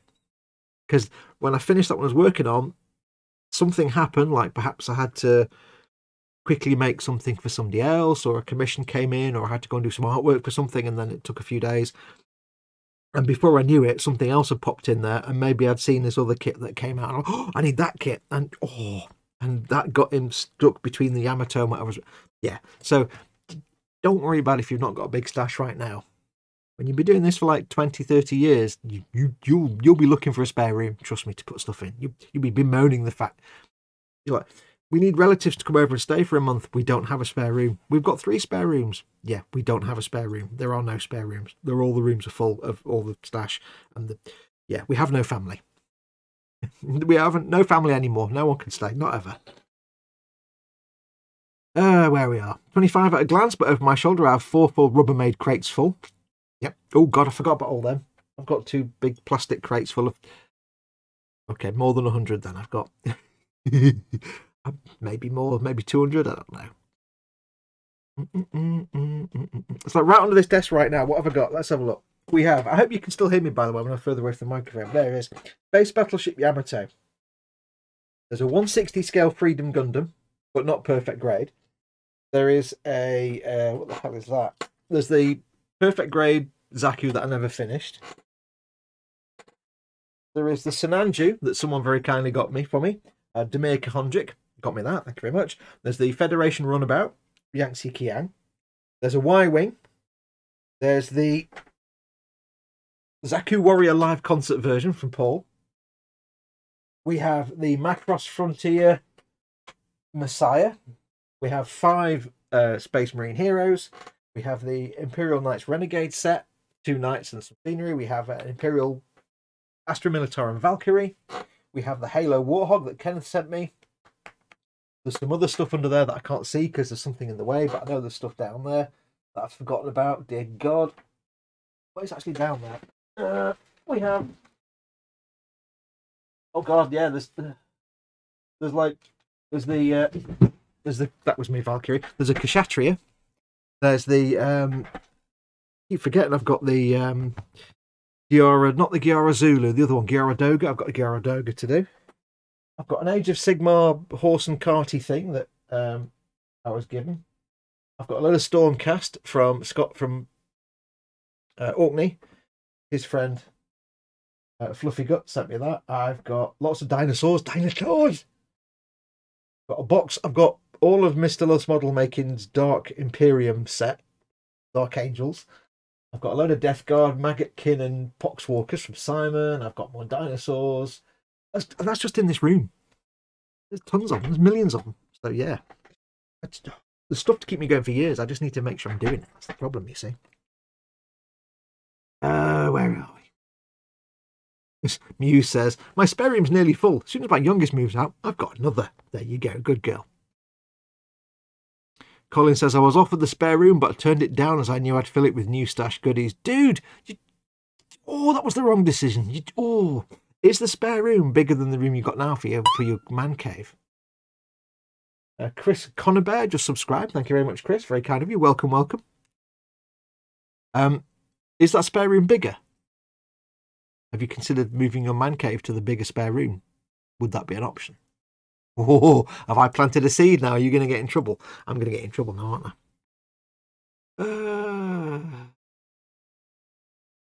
Uh, uh, Muse, I'm afraid you've contacted APMS, Advanced Plastic Modeler Syndrome, says Panzer.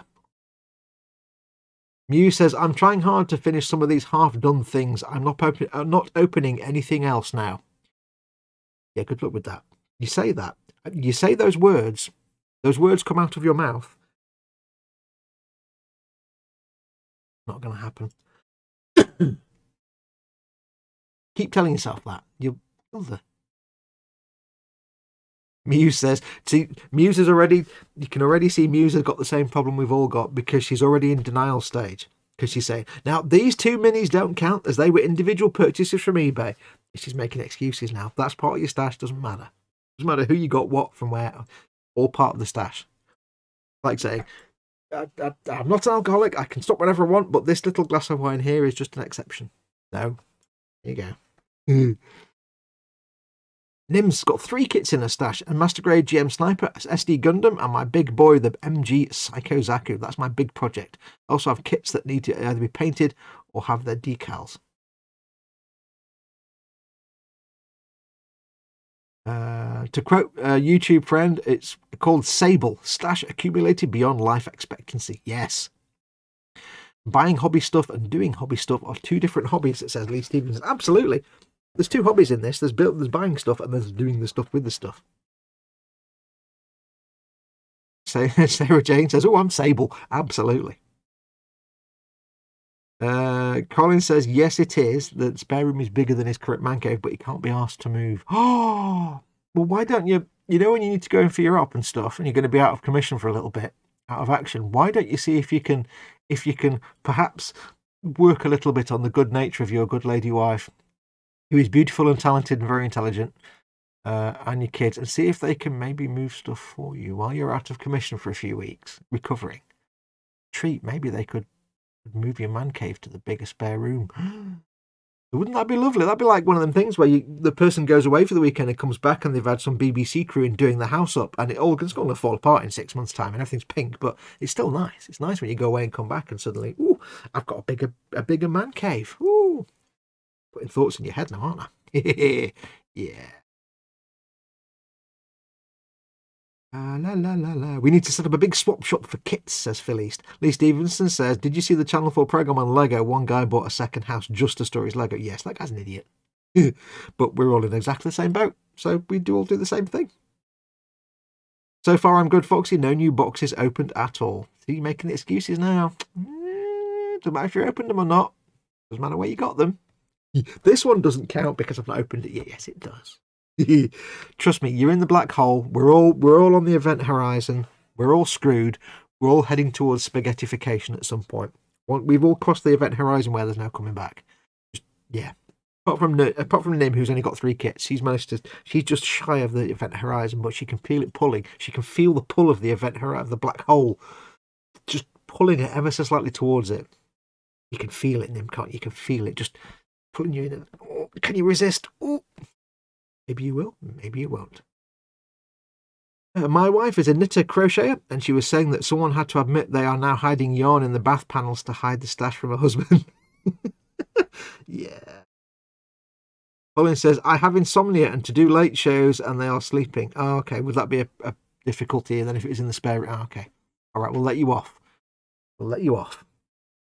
Unless you have two man caves, unless you have your man cave in there and the man cave in the cupboard, so you can do the late shows in one. I'm, I'm just going to drink my coffee and not plant these seeds in your head. Imagine two man caves, one with a great big workbench where you can do all the big projects, and then one at the late night where you can just do your little little late night streams. I'm just, I'm just saying, just saying. Uh, Lee Stevens says to Phil East, it would be good for a trip to Warhammer World or one of the IPMS meets when the world is no longer on fire. What to bring a whole load of your stash and see who wants to swap for what? yeah, maybe we should do that because we, like me and Dad and Colin, everybody, we've all said when the world's not on fire at some point, we need to arrange. I mean, I need to go back to Warhammer World. So does Dad and Colin, everybody else. We all need to go. Colin's not been yet. He needs to experience Warhammer World. But me and Chris and Dad went, and Simon didn't go because he forgot or rather, he was too busy buying Pikachu in London for some. I don't know. He basically forgot. Literally was supposed to meet him. We're like, where's Simon? Don't know. Dude, where are you? Crap, I forgot. Okay, moving on. But anyway, so yes, we do need to go back. And um, so maybe we, and we've said when we do go back at some point we'll arrange it. We'll put a post up on our on our respective pages and saying hey we're going to go to warhammer world. Let's all meet up and storm warhammer world and see if we can just like get free stuff. We won't. Well like you know 5000 people turning up at warhammer world it'll be absolutely fun. But unlike you know area 51 you won't get shot. So we probably will do that and we'll put up a thing saying let's all go to warhammer world. So i think yeah if if we do do that I think it could be fun just to all meet up in the car park when we get there and just bring some of your stash stuff you're never going to build and just bring it and see if anybody wants to like swap swap with. Hey, do you want? Oh, I want that. Do you want this? And swap, just swap stuff. All in good good natured humour and just bring parts of your stash that you know you're never going to get around to building. See what you can trade it for. That'd be quite a good fun. That. When I get down to one more box, I'll buy more, says Raging Modeler. Just don't look in the brown box with lots of unpainted minis. There you go. But morning, Vicar. And this is, I tell you what, this is the problem. You know, like I always say, I'm a builder. I'm a painter, not a builder. But I also say that I do enjoy making the Warhammers. And it's like sometimes when I've if I've lost my mojo, what I will do if I've lost if I'm painting and I've lost the, the urge to live, sometimes I get bored. What I'll do is I'll put it to one side. I'll pick out some Space Marines or some Imperial Guard, and I'll just build them. I'll get like a squad of five and just build them because it passes a few hours and it's kind of relaxing. It's the only building I like is Warhammer and Gunpla. So, but this is less stressful than Gunpla. But so I'll do that. But the problem is, I end up with a load of stuff I've not painted. It's not good, not good. So yeah, it's it it just mm, it just builds up. So you do end up with a lot of unpainted minis. There's something like I can't be bothered painting. I'll build something. That's why I've got like hundred Imperial Guard and like sixty Tempestus Scions, and I've now got about I think I've got sixty or fifty Death Korps dudes, and I've got like God knows how many Space Marines, and I've still not painted enough to have an army on a table yet. It's ridiculous. Yay, another Mama Fox hug, says Scaly Models. Absolutely. Any spare room in which a model kits will fit is a wasted space and should be filled, says Sarah Jane. Absolutely. Foxy, the country isn't big enough for that sort of invite, says Scale Model Muse. yeah. Sarah Jane uh, says to Muse, I use rattle cans as I don't have an airbrush. Wait a minute, wait a minute, wait a minute, stop. Hang on. Use rattle cans if you watched Colin's stream earlier on this afternoon, where we saw all Sarah Jane's Formula One cars and, and, and motorbikes and that, and they're in the Festa 67's workshop group right now, the pictures, they all look amazing. I can't do shiny cars. I, I, I will refuse to do. I just can't do it. I'm just, I haven't got the skills. I need to do weathering to cover up all the crap that I do. But there's all these Formula One cars and stuff, and they're all they're beautifully painted, and it's like Tamiya box art level, and I'm like, that's rattle cans. Really, that's even more impressive. Even more impressive. Just recently took my airbrush out of its box. This is another reason why I like doing the Warhammer stuff because it encourages brush painting. And although I've got an airbrush and a spray booth and I, I, I know what I'm doing, it's kind of sometimes I can't be bothered. I'm like, oh, I don't want to have to get the airbrush out because I've got I can't be fussed. I just want to. Mm. So you know, mm, sometimes I just don't want to spray. Like I know it's going to be covered in dust, but this, not a touch of airbrush on that. That's base coat of rattle. That was rattle can primer, and then everything else is brushed. I'm not. It's not even finished yet. It's got loads of stuff to do on that, but there's no, there's no, there's no airbrush on that all brush painting.